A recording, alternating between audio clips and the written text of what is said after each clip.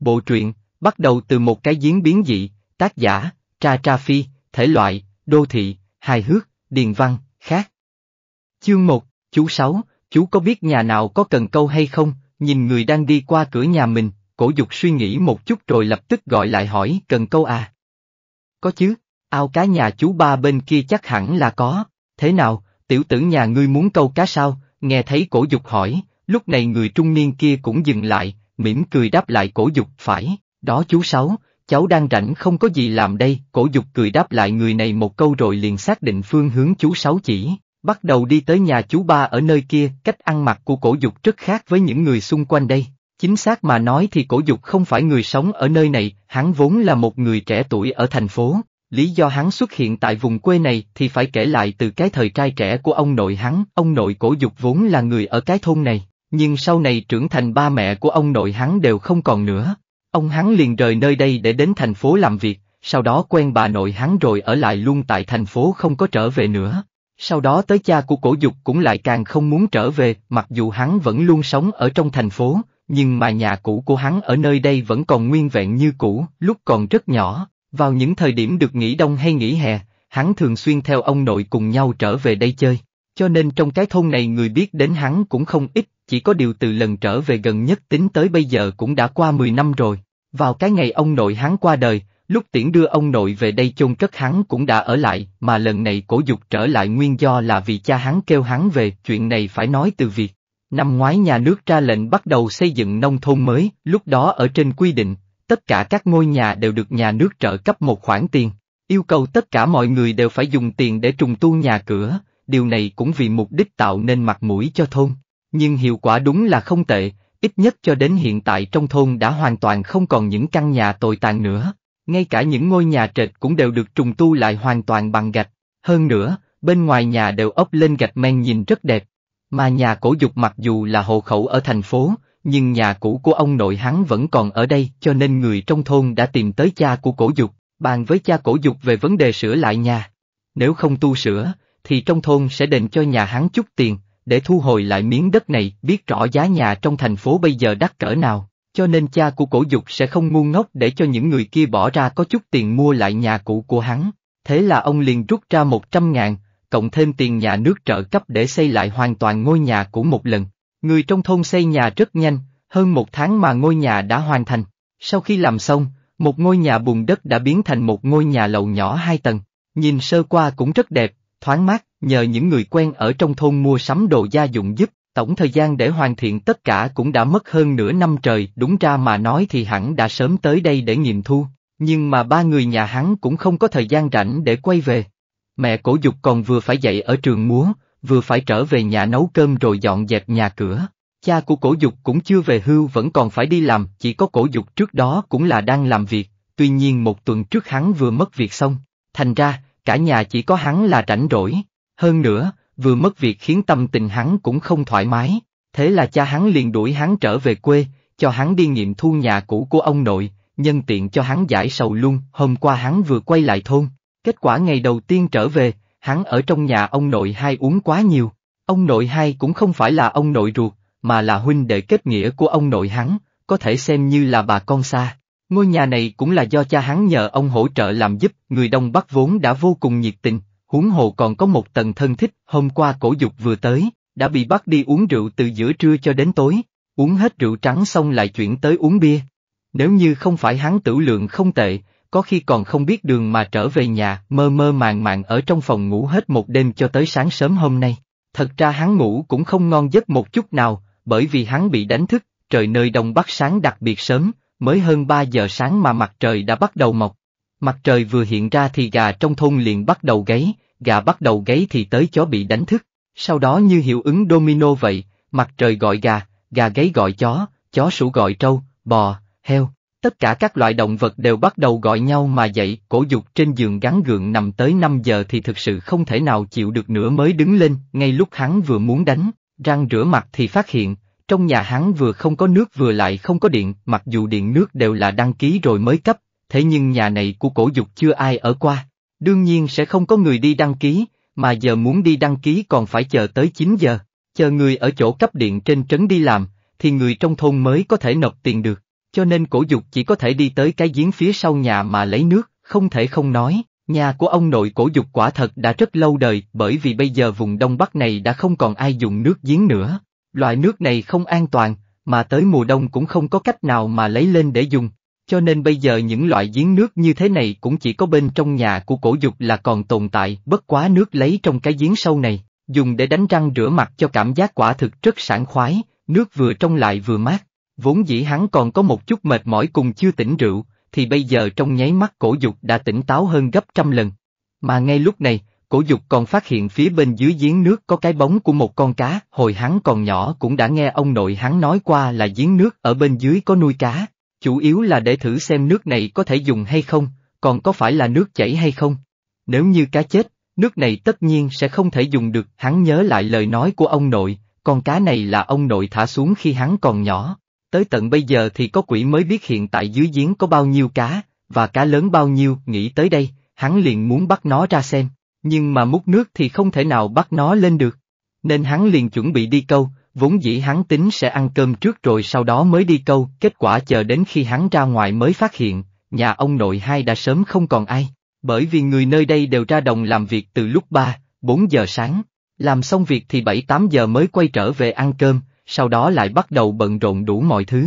Nào là cho gà ăn, cho heo ăn, quét dọn vệ sinh rồi tới giữa trưa ăn cơm trưa. Đợi đến khi mặt trời không còn gay gắt thì cũng đã là chiều, buổi chiều lại đi ra đồng làm việc nhà nông. Thành ra hiện tại còn chưa đến 6 giờ thì trong nhà đã không còn ai chấm tê ế là hắn đi mượn cần câu. Dù sao bây giờ cũng không còn ai, không bằng vừa câu vừa đợi mọi người trở về. Nhận được chỉ dẫn, cổ dục vừa hít một hơi thật sâu làn không khí mát mẻ của nơi này, vừa hướng đến nhà chú ba mà khi nãy chú Sáu đã nói chú ba tên gọi là Cổ Dương, cũng là người đồng lứa với cha của Cổ Dục, do trong nhà hắn đứng thứ ba nên Cổ Dục phải gọi hắn là chú ba. Trong nhà chú ba có mấy cái ao cá, còn có hai con đường được làm để thuận tiện cho người khác tới câu cá dịch vụ, cho nên, nếu như hỏi trong thôn chỗ nào dễ có cần câu nhất, thì chỉ có chỗ của nhà hắn.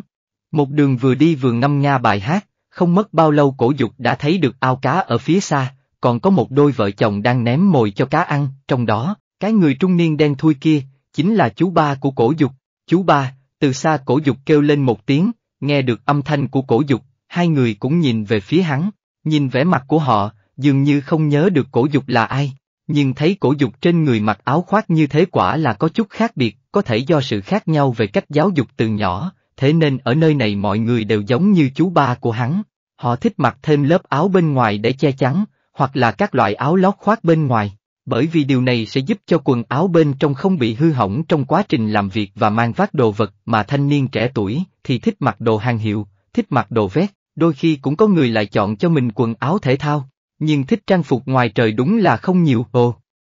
Là tiểu dục à, có chuyện gì sao, nhìn thấy cổ dục đi tới, chú ba ở bên này cười ha hả tiếng lên đón.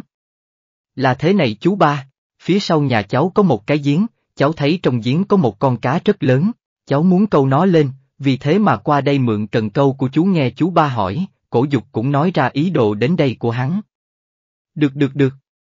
Cháu chờ ở đây một lúc để chú đi lấy, nghe cổ dục nói như thế, cổ dương lập tức quay người đi vào phòng tìm cần câu, mà vào lúc này, vợ của chú ba bước đến quan sát cổ dục một chút, sau đó bắt chuyện với hắn, tiếp đó hỏi han chuyện trong gia đình, lúc đầu hỏi những chuyện rất bình thường, như là cha mẹ trong nhà có khỏe mạnh không? Cơ thể cổ dục có khỏe không? Đã bao nhiêu tuổi rồi, sau đó hỏi tiếp một lúc thì chủ đề chuyển đến chuyện cổ dục có hay không có bạn gái, có tính đến chuyện kết hôn hay chưa, đối với chuyện này cổ dục bắt đầu có chút bối rối, trán hắn đã đổ mồ hôi hột. Chuyện này không phải vì thím ba muốn cho cổ dục khó xử hoặc có ý gì khác, mà do nơi này có phong tục kết hôn từ rất sớm, rất nhiều nữ sinh mới 16 tuổi, vừa tốt nghiệp trung học thì không tiếp tục đến trường nữa mà họ lập tức kết hôn lập gia đình, ở đây con gái 18 tuổi đã có con là chuyện bình thường. Tất nhiên đây chỉ là ví dụ, nhưng trên cơ bản 21, 22 có con là chuyện rất bình thường. Trong khi đó cổ dục thì đã 26 tuổi nhưng hắn vẫn là một tên cẩu độc thân, chuyện như vậy ở nơi đây đúng là rất khó gặp. Tiếp đó, thím ba bắt đầu giảng dạy, nói hắn cũng không còn nhỏ nữa. Trong thôn có mấy người nhỏ tuổi hơn hắn con cái đều có ba bốn đứa, thôn kế bên cũng vậy cũng bằng tuổi với hắn con cái đều đã lên tiểu học, vân vân, ồ. Chú ba tìm được rồi à. May mắn lúc này chú ba đã cầm tới hai cây cần câu, xem như là giải vây giúp cổ dục chú ba lấy ra hai loại cần câu. Một loại là cần câu lùa, không dài lắm, chỉ hơn 3M6 nhưng để câu trong giếng đúng là không dễ. Theo lời chú ba giảng dạy loại cần câu này không cần kéo dây dài ra, lập tức có thể mắc mồi câu quăng xuống để câu cá ở chỗ nước cạn, còn có một loại cần câu biển. Loại này dùng để câu cá dưới tầng đáy, sau khi cổ dục được dạy cách câu như thế nào, cổ dục lập tức cầm hai cây cần câu chạy trối chết. Đùa sao, nếu cứ tiếp tục ở lại nghe thím ba nói chuyện một hồi, không chừng chính hắn đều bị cuộc trò chuyện này làm cho buồn bực về đến nhà, hắn liền nhìn thấy ông nội hai đã quay lại, bên cạnh còn có bà nội hai và dì ba, dì ba chính là vợ của người con trai nhỏ nhất trong nhà ông nội hai, ông nội hai có tất cả năm người con, ba nam hai nữ, hai người con gái đều đã lập gia đình không ở trong thôn. Một người thì ở thôn bên cạnh, một người thì ở trên trấn, ba người con trai thì người lớn nhất đã lên trấn công tác, người thứ hai kết hôn với một người cũng ở trên trấn, sau đó thì ở lại trên đó cùng vợ mình mở một siêu thị nhỏ, đôi khi cũng trở về nhà, là một người con rất hiếu thuận, người con thứ ba rất thân thiết với cổ dương và cổ dục, hắn ở lại trong thôn phụ trách chăm sóc cho ông nội hai. Nhìn thấy cổ dục quay về, bọn họ đều gọi cổ dục lại nói, tiểu dục mới ra ngoài sao? Cơm nấu cũng nhanh, cháu quay về rửa mặt rồi nghỉ ngơi một lát là có thể ăn cơm đồ. Bà nội hai, dì ba, một lát cháu sẽ qua liền. Nghe được tiếng chào hỏi, cổ dục cũng nhiệt tình đáp ứng, sau đó liền quay lại cái sân nhỏ ở phía sau nhà, sân sau nhà hắn là một vườn rau, nhưng đã sớm bỏ hoang vì thế có dại mọc đầy. Tuy nhiên dạng vườn rau thế này, chắc chắn bên dưới có rất nhiều dung đất, cổ dục đào móc hai lần lập tức bắt được một con dung béo mập, sau khi móc nó vào lưỡi câu cần câu biển, cổ dục ném vào trong giếng nước, vốn dĩ muốn dò xét độ sâu của giếng, cho nên cổ dục thả dây ra rất nhiều. Thế nhưng khiến hắn bất ngờ chính là, cái giếng này đặc biệt sâu, cái giếng này cổ dục đã từng được nghe ông nội nói qua. Giếng này cũng không quá sâu, chỉ khoảng 6 mét là đã thấy đấy. Thế nhưng cần câu trong tay cổ dục là loại câu biển, dây cước dài hơn 100 mét. Hắn đã thả dây xuống dưới giếng chớp mắt đã hơn 20 mét, nhưng dây câu vẫn tiếp tục chìm xuống chưa thấy tới đấy. Điều này khiến cổ dục cảm thấy có chút khó hiểu, lại thả dây thêm một lúc, độ sâu nhanh chóng đạt đến 60 mét, hơn nữa vẫn còn cảm thấy nó tiếp tục rơi xuống, điều này khiến cổ dục có chút choáng váng. Nếu nói giếng này có một mạch nước ngầm, phải chăng dây câu đã rơi vào trong đó? Nghĩ tới đây cổ dục bèn giữ lại dây câu, sau đó bắt đầu thu dây câu trở lại, nhưng khi vừa mới thu dây câu lại, hắn liền phát hiện dây câu vậy mà có thứ gì đó mắc vào, thứ đó còn đang kéo dây câu trở ra, điều này khiến cổ dục càng thêm khó hiểu, vốn dĩ hắn còn tưởng lưỡi câu mắc vào đá, thế nhưng vừa mới thả dây ra thứ này lập tức di động, điều này càng khiến cổ dục cảm thấy càng thêm mơ hồ, nhưng hắn mặc kệ là thứ gì, cứ câu lên rồi sẽ biết. Lập tức hắn dùng sức đối kháng với thứ này, cổ dục thân cao 1m86, cân nặng 95kg, có thể nói là hơi mập mạp một chút, điều này cũng đành chịu. Trước đó công việc của hắn là làm ít, cả ngày đều ngồi trước màn hình vi tính để tăng ca và cũng không có thời gian để vận động. Trên thân nếu không có mỡ thì mới gọi là quỷ đấy, nhưng châm ngôn có câu nói rất hay, thân to không lỗ. Khi cổ dục hạ quyết tâm đối đầu cùng thứ này, thân thể to lớn của hắn phát huy tác dụng rất lớn, ít nhất thì lúc hắn nghỉ ngơi hồi lực, đối phương cũng không có cách nào làm hắn động, cứ như thế, mất hơn nửa tiếng. Cuối cùng, cái thứ kia ở dưới nước bị chơi cho đến hết hơi, sau đó bị cổ dục thật nhanh vừa thu lại dây câu vừa kéo nó lên, cái bóng đen kia cuối cùng cũng được cổ dục kéo lên khỏi mặt nước, hắn dùng sức xách nó lên. Trong nháy mắt có một cơ thể màu vàng lóe sáng dưới ánh mặt trời, chui ra từ trong giếng rơi xuống mặt đất, sau đó điên cuồng giãy dụa, mà khi cổ dục gặp được con cá màu vàng này, hắn cảm thấy có chút choáng váng, bởi vì con cá này, hắn đã gặp qua. Lúc sau Tết, cha hắn có mua hai con để làm thịt, tuy nhiên, loại đó đều là nuôi dưỡng, so sánh một chút đều thua kém xa lắc với con cá trước mắt này, nhưng mà, đây không phải là lúc đắn đo suy nghĩ, vấn đề chính là, con cá này làm sao có thể ở trong giếng, cá, đu vàng, cầm con cá này lên, cổ dục nhìn con cá này với gương mặt đầy mơ hồ, ăn nhanh như vậy sao? Sáng nay không uống nữa à, nhìn thấy cổ dục nhanh chóng ăn hết bánh bao hấp và cháo trước mặt, ông nội hai cười ha hả nói, thực ra người già đều thích nhìn con cháu trong nhà ăn nhiều, điều này chứng tỏ bọn chúng đều khỏe mạnh, còn uống gì, chính là nói đến nhậu nhẹt. Ở nông thôn vùng Đông Bắc, buổi sáng uống chút rượu đều là chuyện bình thường. Không đâu, cháu đột nhiên nhớ tới có một số chuyện cần phải làm, một lát còn phải gọi điện để xử lý công việc. Nghe ông nội hai nói như vậy cổ dục lúng túng nở nụ cười, sau đó trả lời ông nội hai. Mới sáng sớm mà đã uống rượu hắn thật sự chịu không được, vừa ăn xong điểm tâm, vốn dĩ cổ dục còn muốn phụ giúp dọn dẹp, nhưng hắn bị bà nội hai lập tức đuổi về, ở Đông Bắc người ta tuyệt đối sẽ không cho khách giúp thu dọn vật dụng thường ngày trong nhà mà cổ dục trong lòng đúng là có việc, cho nên hắn đành mỉm cười, sau đó nhanh chóng trở về nhà của mình, mà khi hắn trở về trong nhà, hắn phát hiện con cá đù vàng mình để trong cái chậu lớn ở phòng khách, quả nhiên vẫn còn sống, a đù. Cái gì thế này? Chẳng phải con này là cá nước mặn sao, vì sao để trong nước ngọt vẫn còn sống? Còn chưa kể, buổi sáng vừa bắt lên cơ thể của nó đã nhạt màu rồi, tại sao hiện tại đã bình thường rồi? Còn nữa, lúc mới câu lên không phải chỉ có nửa kg hoặc một kg sao? Làm thế nào hiện tại đã to ra sắp xỉ 6 kg như vậy? Hơn nữa, không phải nói loại cá này giống như cá hố, sau khi bị bắt lên bởi vì áp lực thay đổi mà sẽ chết sao? Nhưng làm thế nào nó lại không chết? Vì sao? Vì sao? Vì sao?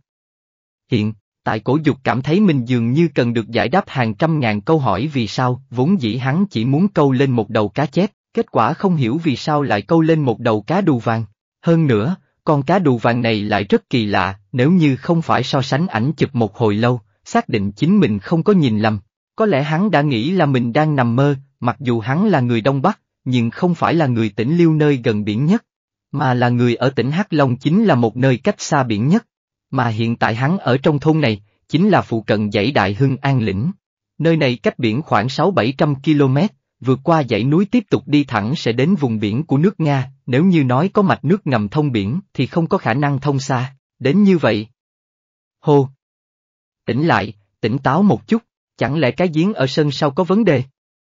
Sherlock Holmes đã từng nói, khi bạn đã loại bỏ những điều không thể, thì điều cuối cùng dù khó tin đến đâu cũng chính là sự thật, nếu, như loại trừ tất cả sự trùng hợp vậy cũng chỉ có một loại khả năng duy nhất, đó chính là cái giếng phía sau nhà cổ dục có vấn đề. Hơn nữa, nếu nói cá đù vàng có thể sinh tồn trong nước giếng, vậy phải chăng nước, cũng, có vấn đề, nghĩ tới đây, cổ dục tò mò muốn đi thử một chút, cổ dục mang theo cần câu đi ra sân sau, một lần nữa moi lên một con dung, sau đó thả cần câu vào giếng, quả nhiên lần này cùng lần trước đều giống nhau, dây câu nhanh chóng thả xuống thật sâu bên dưới, nhưng lần này chỉ thả xuống được hơn 20 mét thì đã dừng lại, điều này khiến cổ dục có hơi khó hiểu một chút, đây lại là tình huống gì nữa, tuy nhiên hắn vẫn rất nhanh tay kéo dây lên, mà khi kéo dây lên hắn cảm thấy dây câu mắc được cái gì đó, nhưng mà không giống với lúc sáng câu được cá đù vàng, đối phương không có dãy dụ phản khá NG.NGO ại trừ lần đầu tiên rất khó kéo lên còn va chạm chút đá ngầm, thì khoảng thời gian sau cũng không có dãy dụ kéo lên vẫn rất nhanh chấm KHI dây câu thu lại có thể thấy được một cái bóng đen lờ mờ bên dưới,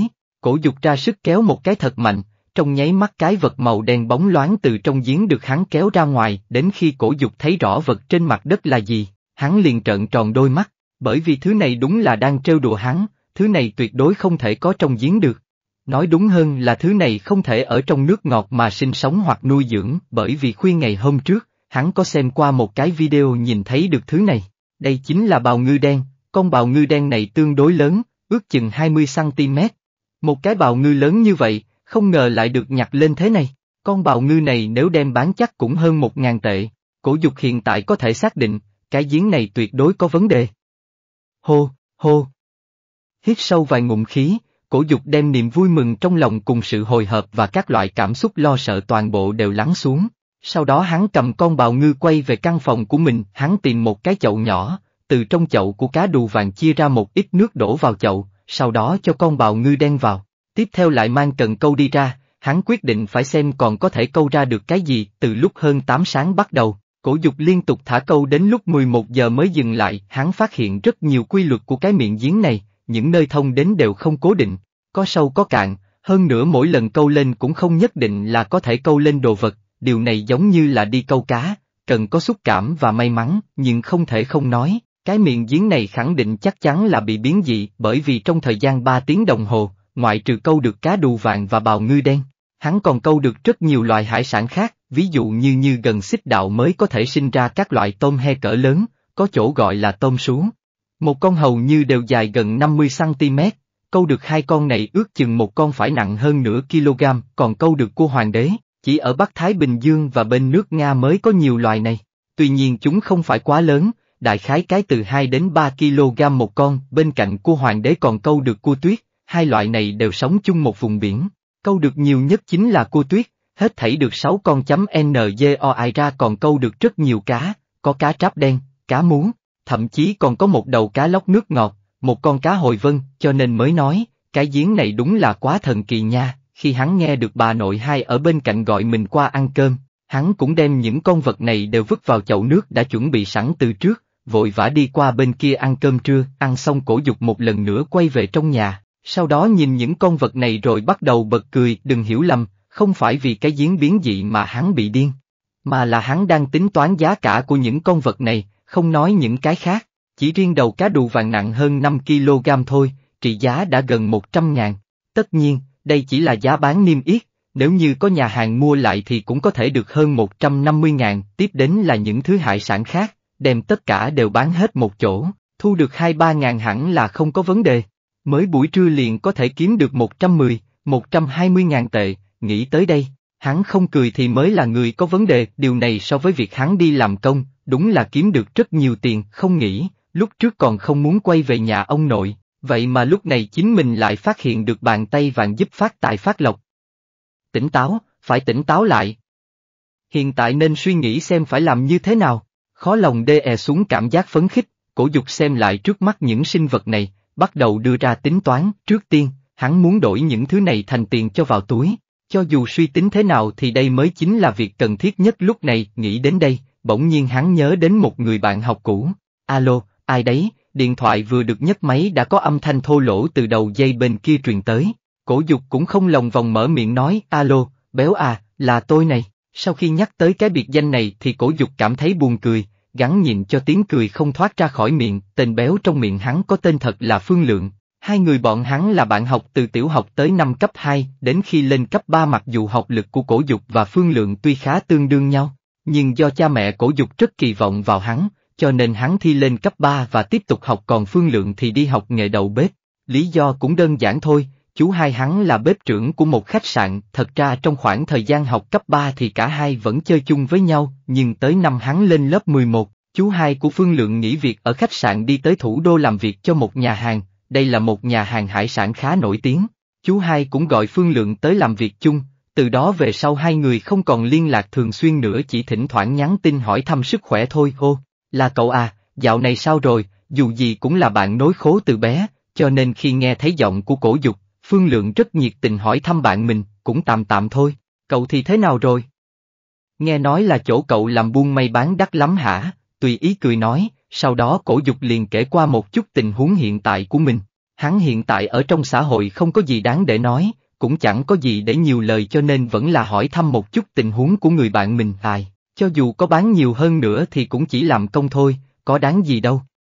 Nghe thấy lời than vãn của Phương Lượng, cổ dục cũng gác lại chuyện của mình ngồi buông dưa lê với hắn, nhưng mới nói được vài câu thì Phương Lượng có việc bận nên cũng hỏi thẳng lý do cổ dục gọi cho mình là, thế này, chả là mình có người bạn không biết kiếm đâu ra con cá đù vàng hoang dã nặng hơn 5 kg. Hiện tại hắn muốn bán ra nhưng không có người quen nên sợ bị người ta lừa, nghe nói nhà hàng cậu làm cũng nổi tiếng nên mình cũng chỉ muốn hỏi thử xem ông chủ có muốn mua lại hay không thôi. Cái gì? Cá đù vàng hoang dã nặng hơn 5 kg Á, ở Đông Bắc, cá đù vàng hay còn gọi là đại hoàng hoa là một loại cá cực đắt đỏ. Giá cả những con cá bình thường nhất cũng phải hơn 1.000 tệ cho một con nặng chỉ 500 dê, nếu một con cá nặng 1 kg bán 2.000 cũng xem như là hợp lý nhưng trên thực tế tuyệt đối không thể mua được, huống chi là cá đù vàng nặng hơn 5 kg. 20.000 cho 1 kg cũng xem như là giá vốn, người anh em. Cậu đừng có hùng mình, cái này không phải chuyện đùa, nghe Phương Lượng nói như thế, mọi người đang ở sau bếp đều nhìn về phía hắn. Mà lúc này hắn cũng lập tức khoanh tay nhỏ giọng, trêu cậu làm gì? Vậy thì để mình gửi hàng cho cậu trước, nếu ổn thì gửi tiền cho mình sau cũng được, thấy Phương Lượng có vẻ nghi ngờ với cá của mình, cổ dục quyết định gửi hàng trước rồi mới thanh toán. Dù sao hắn cũng rất tự tin với chất lượng đồ của mì nhờ chấm TH ương lượng thấy cổ dục bảo đảm như vậy thì hơi động lòng. Ban đầu hắn còn tưởng cổ dục bị lừa, sau đó còn nghĩ cổ dục lừa gạt hắn. Dù sao thì cá đù vàng nặng hơn 5kg như thế chỉ có thể gặp chứ không thể cầu, thứ này làm sao rơi vào tay cổ dục được, nhưng mà nghe được cổ dục khẳng định như vậy, hắn có chút do dự. Đúng lúc này, đột nhiên chú hai của Phương Lượng từ bên ngoài trở về, Phương Lượng lập tức chạy tới, chú hai, con có chuyện muốn nói, Phương Lượng che miết điện thoại lại, nhỏ giọng thuật lại chuyện lúc nãy hắn bàn với cổ dục, đương nhiên chú hai của Phương Lượng có chủ kiến hơn hắn nhiều, không lập tức từ chối mà dặn Phương Lượng nói với cổ dục, cứ gửi cá đến, nếu là đúng như cậu ta nói, đương nhiên chúng ta sẽ mua, còn nếu không phải thì sẽ gửi trả về, làm như vậy cũng không thể trách được, đây là chuyện làm ăn mấy trăm ngàn tệ không thể nói dẫn được, được ông chú mình đồng ý. Phương Lượng cầm lên điện thoại nói cổ dục gửi cá đến chỗ hắn xem thử đã, sau khi nghe Phương Lượng đồng ý, cũng nhận được địa chỉ mà hắn gửi tới. Cổ dục vớt cá đù vàng ở trong nước ra, dù sao cũng không thể gửi sống cả con như thế này được, mà có gửi được đi nữa thì cũng sẽ phát sinh thêm rất nhiều vấn đề phiền phức khác, cho nên cổ dục trước tiên phải xử lý nó mới được, sau khi đã lau khô toàn thân, cổ dục bỏ con cá vào sâu trong ngăn đông tủ lại nhờ chấm dê o không có tủ cấp đông chuyên dụng nên cổ dục phải đợi hơn 3 giờ thì cá mới đông cứng hoàn toàn. Sau đó tìm được một nhà chuyển phát nhanh tên Thuận Phong.nh ưng mà nhà vận chuyển này không đến thôn nhận hàng, thế là cổ dục phải mang hàng đến, cũng may hắn còn quen biết một người trong thôn, người này gọi là cổ tấn. Ở trong thôn chuyên môn chạy xe chở hàng chui chấm NG người này đồng lứa với cổ dục nhưng hơi lớn tuổi hơn hắn một chút. Trước đây, nhà hắn thuê cả quả đồi để trồng cây ăn trái, cho nên sắm một chiếc xe tải cỡ nhỏ để chở những loại trái cây này. Sau này thương lái đến tận nơi mua, nên cổ tấn không phải tự chở nữa, do cảm thấy bỏ không xe thì quá lãng phí. Nên cổ tấn lúc rảnh rỗi cũng chạy vài quốc chở hàng chui, hôm qua đi đón cổ dục về thôn chính là nhờ hắn, cho nên cổ dục và hắn tương đối quen biết, gọi một cú điện thoại cổ tấn liền lái xe đến. Cổ dục mang theo một cái hộp xốp khá lớn ngồi ở bên cạnh, ngoại trừ cá thì hắn cũng phải bỏ rất nhiều đá lạnh. Mấy thứ như túi trường đá chuyên dụng có thể mua trong nhà vận chuyển thuận phong, do phải đảm bảo cá không bị rã đông trên đường đi nên cổ dục hối cổ tấn lái xe thật nhanh mặc dù đường núi không dễ đi lắm, nhưng chưa đến nỗi quá khó đi, phần lớn vùng Đông Bắc là bình nguyên nên cho dù phải đi đường đất, chỉ cần không mưa thì vấn đề đi lại cũng không phải là việc lớn, đoạn đường từ thôn lên trấn hơi sóc nảy một chút, nhưng cổ dục vẫn thuận buồm xuôi gió đưa kiện hàng đến chỗ công ty chuyển phát nhanh. Tiếp theo là báo giá, ký giấy tờ làm thủ tục, hắn còn cố ý chọn gói chuyển phát có bảo hiểm trị giá 150 ngàn, nhỡ gặp anh shipper nào biết nhìn cá rồi cũng mất thì lỗ to. Sau khi nhìn thấy nhân viên công ty chuyển phát nhanh đóng gói đâu vào đấy xong, cổ dục lên xe về nhà với cổ tấn, về đến nhà thì trời cũng đã nhá nhem tối. Lúc thanh toán tiền cổ dục còn tặng cho cổ tấn một con cá lóc không nhỏ, nặng cỡ một kg rưỡi. Hơn nữa, còn là một đầu cá hoang dã, sức sống rất cao nên cổ tấn cực thích, hắn biết cổ dục đang muốn kết giao với mình. Cổ dục biết rất rõ, con cá này phương lượng chắc chắn hài lòng. Đến lúc đó hắn lại đem bán những vật này, không chừng còn phải phiền cổ tấn làm tài xế. Mặc dù cổ dục có bằng lái, nhưng hiện tại muốn mua xe thì tiền vẫn còn không đủ. Chờ qua một thời gian rồi lại nghĩ đến chuyện này, sau khi xử lý ổn thỏa đám cá mới câu được. Cổ dục xách theo hai con cá sang nhà ông hai, một đầu cá hồi vân và một cá tráp đen. Mấy ngày nay hắn toàn ăn chực uống chực ở nhà ông, nên chắc chắn phải đem quà sang biếu, đối với mấy loại hải sản còn lại đều được hắn nuôi dưỡng ở trong chậu. Mọi dự định đều phải đợi đến ngày mai lại nói tiếp. Nếu con cá kia bán được thì dễ nói chuyện, còn nếu không bán được thì phải tính đến chuyện lâu dài. Cần phải có một kế hoạch cụ thể, nhưng mà cổ dục vẫn có lòng tin đối với con cá đù vàng của mình, ăn uống nhậu nhẹt ở nhà ông hai cả một tối, khi về nhà cổ dục vẫn ra sân sau tắm một cái. Mang theo tâm trạng vui vẻ, hắn từ từ chìm vào giấc ngủ, gà trống gáy vang, chim hót liếu lo, sáng ngày hôm sau lại bắt đầu một ngày mới ồn ào náo nhiệt, cổ dục cũng mơ màng ngồi dậy, hắn cầm điện thoại lên liếc mắt nhìn, ngoài ý muốn phát hiện nhà vận chuyển Thuận Phong đã vận chuyển hàng đến thủ đô. Đến 9 giờ sáng thì đã có thể phát hàng đến người nhận, cổ dục gửi hàng là loại hỏa tốc còn áp dụng với hàng tươi sống nữa, vì thế hắn đoán tầm 9 giờ 30 thì hàng hóa sẽ đến nhà hàng phương lượng, thành hay bại thì phải xem hôm nay, sau khi rời khỏi giường, cổ dục vẫn đánh răng rửa mặt bằng nước giếng rồi tiến hành đun một bình nước sôi không phải vì nhà hắn không có nước, không có điện, hôm qua, điện nước trong nhà đã được cấp đầy đủ, nhưng không hiểu tại sao, Hắn cảm thấy nước giếng này hoàn toàn không giống với nước máy trong nhà, điều này có thể thấy được từ đám hải sản. Trải qua một đêm trong chậu nhưng bọn chúng đều không có gì hao tổn, rửa mặt xong, cổ dục cũng không chịu ngồi yên, mà tiếp tục cầm theo cần câu bắt đầu câu cá, người ta hay nói, điều mà người câu cá mong chờ nhất chính là khoảnh khắc con cá rời khỏi mặt nước, cũng giống Forrest Gump thích ăn sô-cô-la vậy, cũng không biết tiếp theo là cái gì hoặc là có điều gì bất ngờ nào bên trong chấm NH ưng đối với cổ dục mà nói, đây mới thật sự là bất ngờ, bởi vì hắn không thể biết được mình sẽ câu lên cái gì giống như hôm nay, lần đầu tiên hạ cần câu xuống. Thứ đầu tiên hắn bắt được chính là một con mực lớn, nó dài gần một mét rưỡi. To như vậy, làm thế nào để ăn hết đây? Trong lúc cổ dục ở trong nhà vui vẻ câu cá, thì ở thủ đô bên kia công việc cũng đã bắt đầu, sau khi người thanh niên đem kiện hàng chuyển phát nhanh của cổ dục lên xe, anh ta cũng bước nhanh hơn. Tiếp đó chạy đến địa chỉ mà cổ dục viết bên trên kiện hàng, hơn nữa còn tranh thủ gọi điện thoại trước để xác định vị trí, lúc người nhân viên chuyển phát nhanh đến được cửa sau, của nhà hàng, ở đây đã có rất nhiều người tụ tập, bởi vì có rất nhiều người hôm qua đã nghe được cuộc điện thoại của Phương Lượng. Người bạn của hắn nói rằng, mới lấy được một đầu cá đù vàng nặng hơn 5 kg.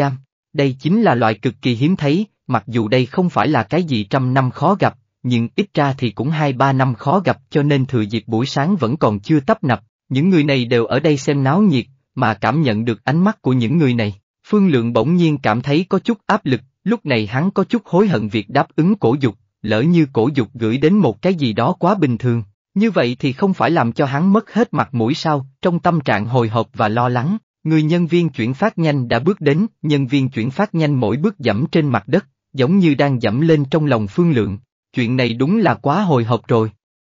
Ai là Phương Lượng? Cuối cùng, người nhân viên chuyển phát nhanh đã bước tới cửa ra vào, hắn nhìn lướt qua xung quanh rồi mở miệng hỏi.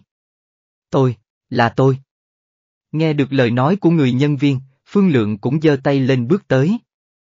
Mở hộp kiểm tra đi, tuy nhiên anh phải liên hệ người bán rồi cả hai cùng xác nhận, khi xác nhận xong tôi mới có thể giao hàng cho anh.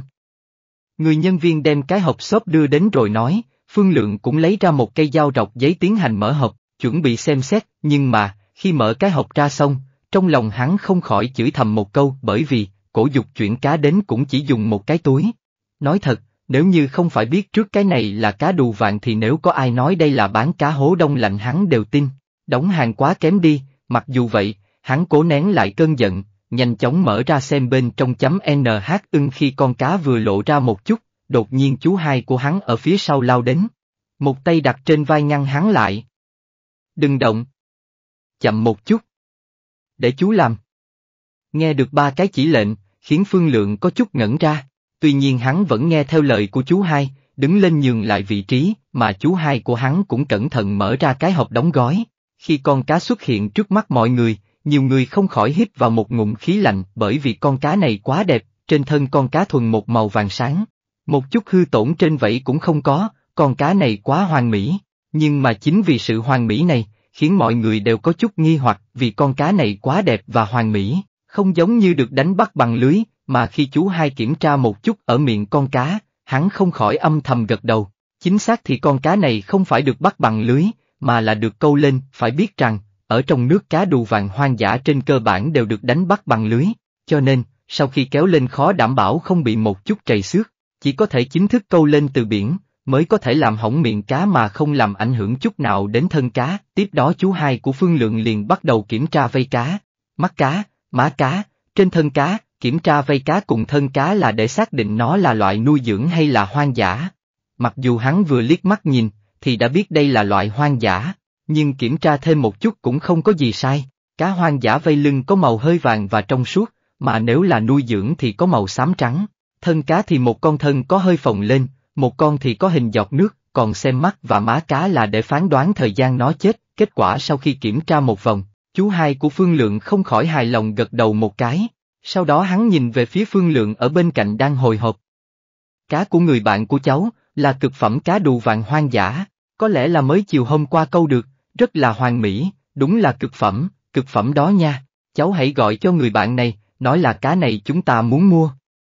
Nghe được lời nói của chú hai, Phương Lượng cùng mọi người đều hít vào một ngụm khí lạnh. Nói như vậy thì con cá này chính là cá đù vàng nặng hơn 5 kg mà người ta hay kể đó sao, nghĩ tới đây, nhiều người có chút hiểu biết đều cảm thấy choáng váng. Mà Phương Lượng hiện tại cũng đồng thời có chút choáng váng, không khỏi âm thầm cảm thán. Cổ dục đúng là làm ăn cũng không tệ, loại sinh ý như cá đù vàng cũng có thể làm được, đúng là quá lợi hại, nghĩ thì nghĩ, nhưng tay chân hắn cũng không chậm vì thế trước tiên hắn gọi điện thoại cho cổ dục, lúc này cổ dục vừa mới ăn sáng xong ở nhà ông Hải đi ra, nhìn thấy điện thoại của Phương Lượng, hắn mỉm cười vui vẻ, có thể đoán được là cuộc làm ăn đầu tiên đã thành công.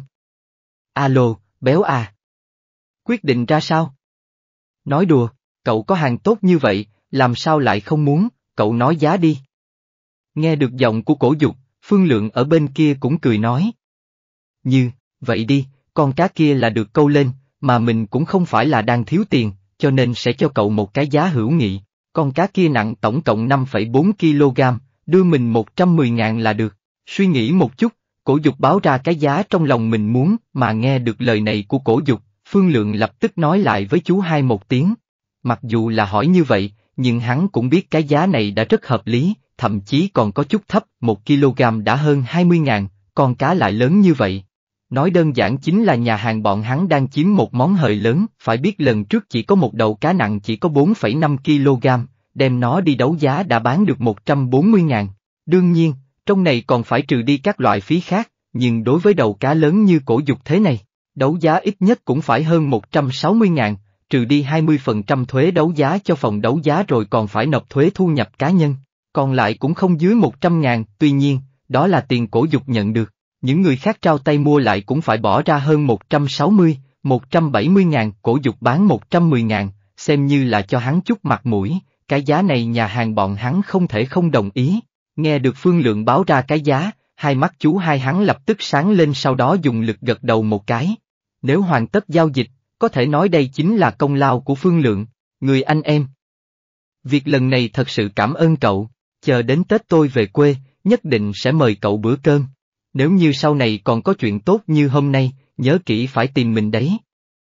Ở đầu dây bên kia, cổ dục có thể cảm nhận được sự vui sướng của Phương Lượng, nhìn thông báo tài khoản nhận được 110.000 trên điện thoại, cổ dục không nhìn được nở nụ cười. Không thể không thừa nhận, vụ mua bán này quá tuyệt vời, không cần biết Phương Lượng đang vui vẻ ra sao, muốn xử lý con cá như thế nào. Tất cả những chuyện đó đã không còn liên quan với cổ dục, lúc này, cổ dục đang nằm trên giường lớn ở nhà mới, hắn đang suy nghĩ vấn đề là làm sao để phát triển trong tương lai. Chỉ cần dựa vào cái giếng, cổ dục chắc chắn không rời khỏi cái thôn này, đây sẽ là nơi khởi đầu để hắn phát triển sự nghiệp vậy nên, có rất nhiều chuyện cần hắn sớm chuẩn bị sẵn sàng ứng phó, trước hết hắn phải nói với cha mẹ về việc hắn không quay lại thành phố và muốn ở lại trong thôn. Nhưng vấn đề ở đây là lấy lý do gì để nói, ngôi nhà hắn đang ở thuộc sở hữu của gia đình nên hắn muốn ở bao lâu cũng được. Nhưng về chuyện ở lại đây, không có gì đảm bảo cha mẹ hắn sẽ đồng ý, vấn đề thứ hai chính là ngôi nhà này còn thiếu rất nhiều đồ gia dụng. Tuy nhà ở đã xây xong nhưng trong nhà chỉ có một ít vật dụng như giường chiếu,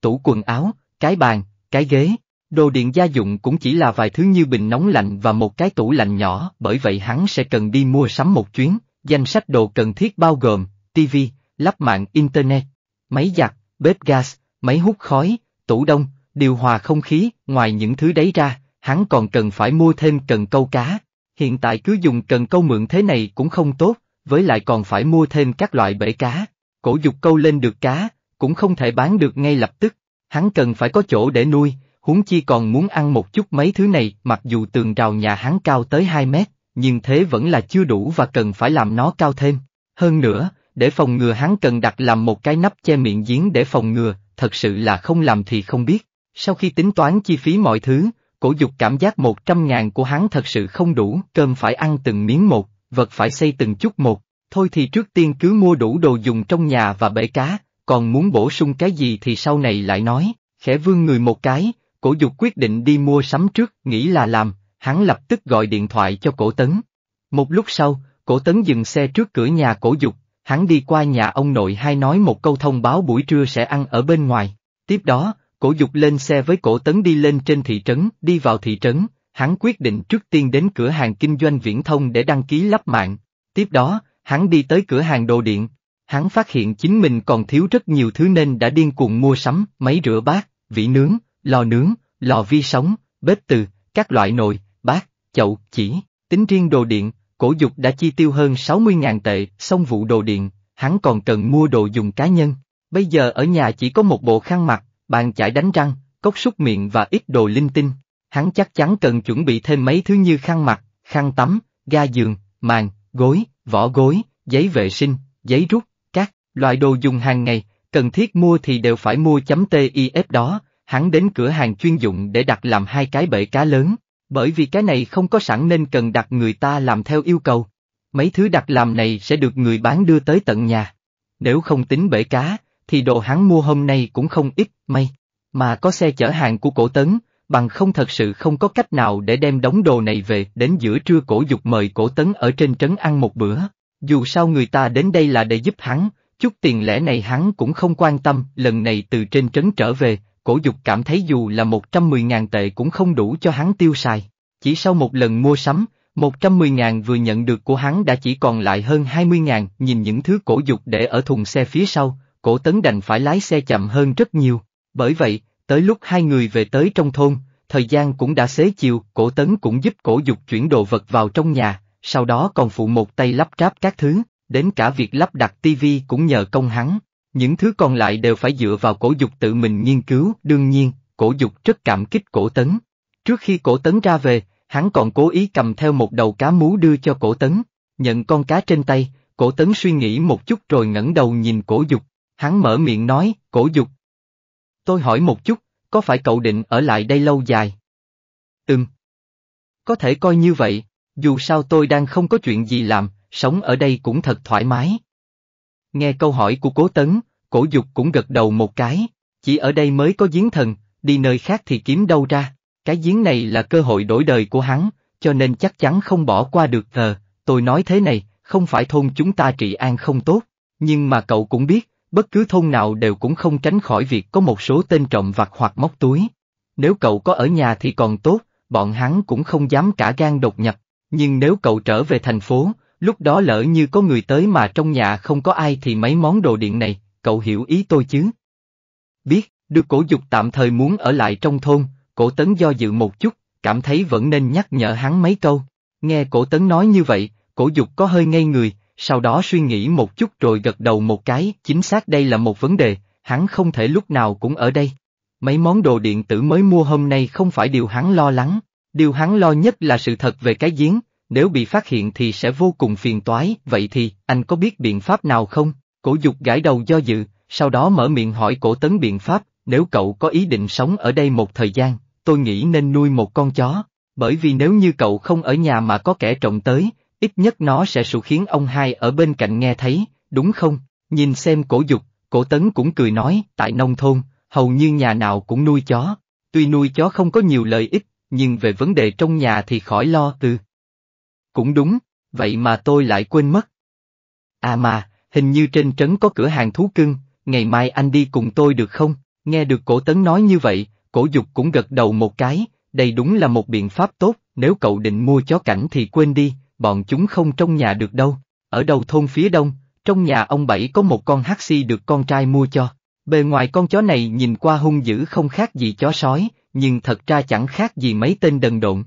Năm trước nhà ông ấy có kẻ trộm đột nhập vào, kết quả con chó kia còn cùng tên trộm chơi đùa, ngay cả vòng cổ của nó cũng bị lấy đi, thậm chí còn không kêu một tiếng.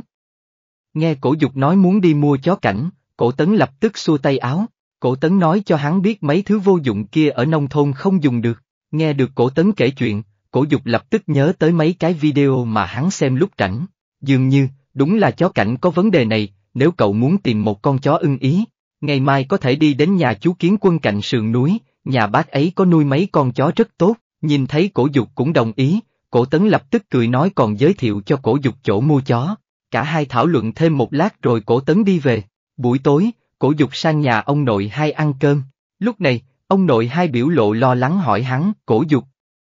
Cháu thật muốn ở lại nơi này sao, buổi, chiều hắn mua nhiều đồ như vậy mang về, nhà ông nội hai thì ở ngay sát vách làm sao có thể không nghe không thấy. Đương nhiên ông biết, cổ dục ra ngoài một chuyến rồi trở về mang theo không ít đồ đạc, sau khi cổ tấn đi, chú ba còn tự mình tới giúp hắn chỉnh lại mấy món đồ điện này, lúc này bọn họ đều nhìn về phía cổ dục, trong ánh mắt đều tràn ngập sự nghi hoặc và kỳ quái, bọn họ sống nhiều năm như vậy, cũng chỉ gặp người trong thôn cắm đầu muốn đi ra bên ngoài. Còn trường hợp từ thành phố quay về nông thôn như cổ dục thì thật sự là lần đầu tiên, đúng là quá kỳ lạ, ông nội hay.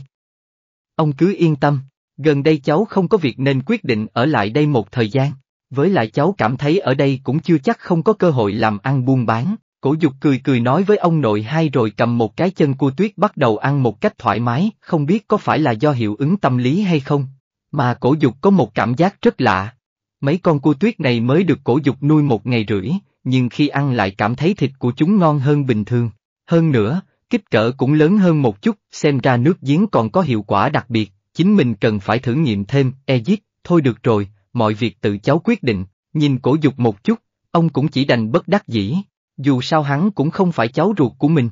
Nếu là cháu ruột của mình, rõ ràng ở trong thành có việc làm mà lại chạy về nông thôn, hắn nhất định sẽ đánh gãy chân chó của nó. Nhưng đối với cổ dục, cũng chỉ có thể xem như là khách đến nhà, đối với việc ông nội hay không hiểu, cổ dục cũng chỉ mỉm cười cho qua. Có một số việc không cần thiết nói quá rõ, chính hắn biết là được rồi, có quyết tâm thì mới có thể phát tại, đương nhiên, nếu sau này hắn có tiền, hắn cũng không ngại giúp thôn một chút, nhưng với điều kiện là người trong thôn không thể lừa hắn, sau khi ăn xong bữa cơm chiều, cổ dục xin phép ra về, về đến nhà, việc đầu tiên hắn làm là kiểm tra cân nặng của số hải sản được hắn câu lên hôm qua chấm quy u ả nhiên, sau khi được nuôi một ngày rưỡi, chúng đã trở nên nặng hơn, lúc câu lên con của hoàng đế, trọng lượng là 2 kg 8, còn bây giờ, nó đã lên đến 3 kg 1, đã tăng lên 250 gram.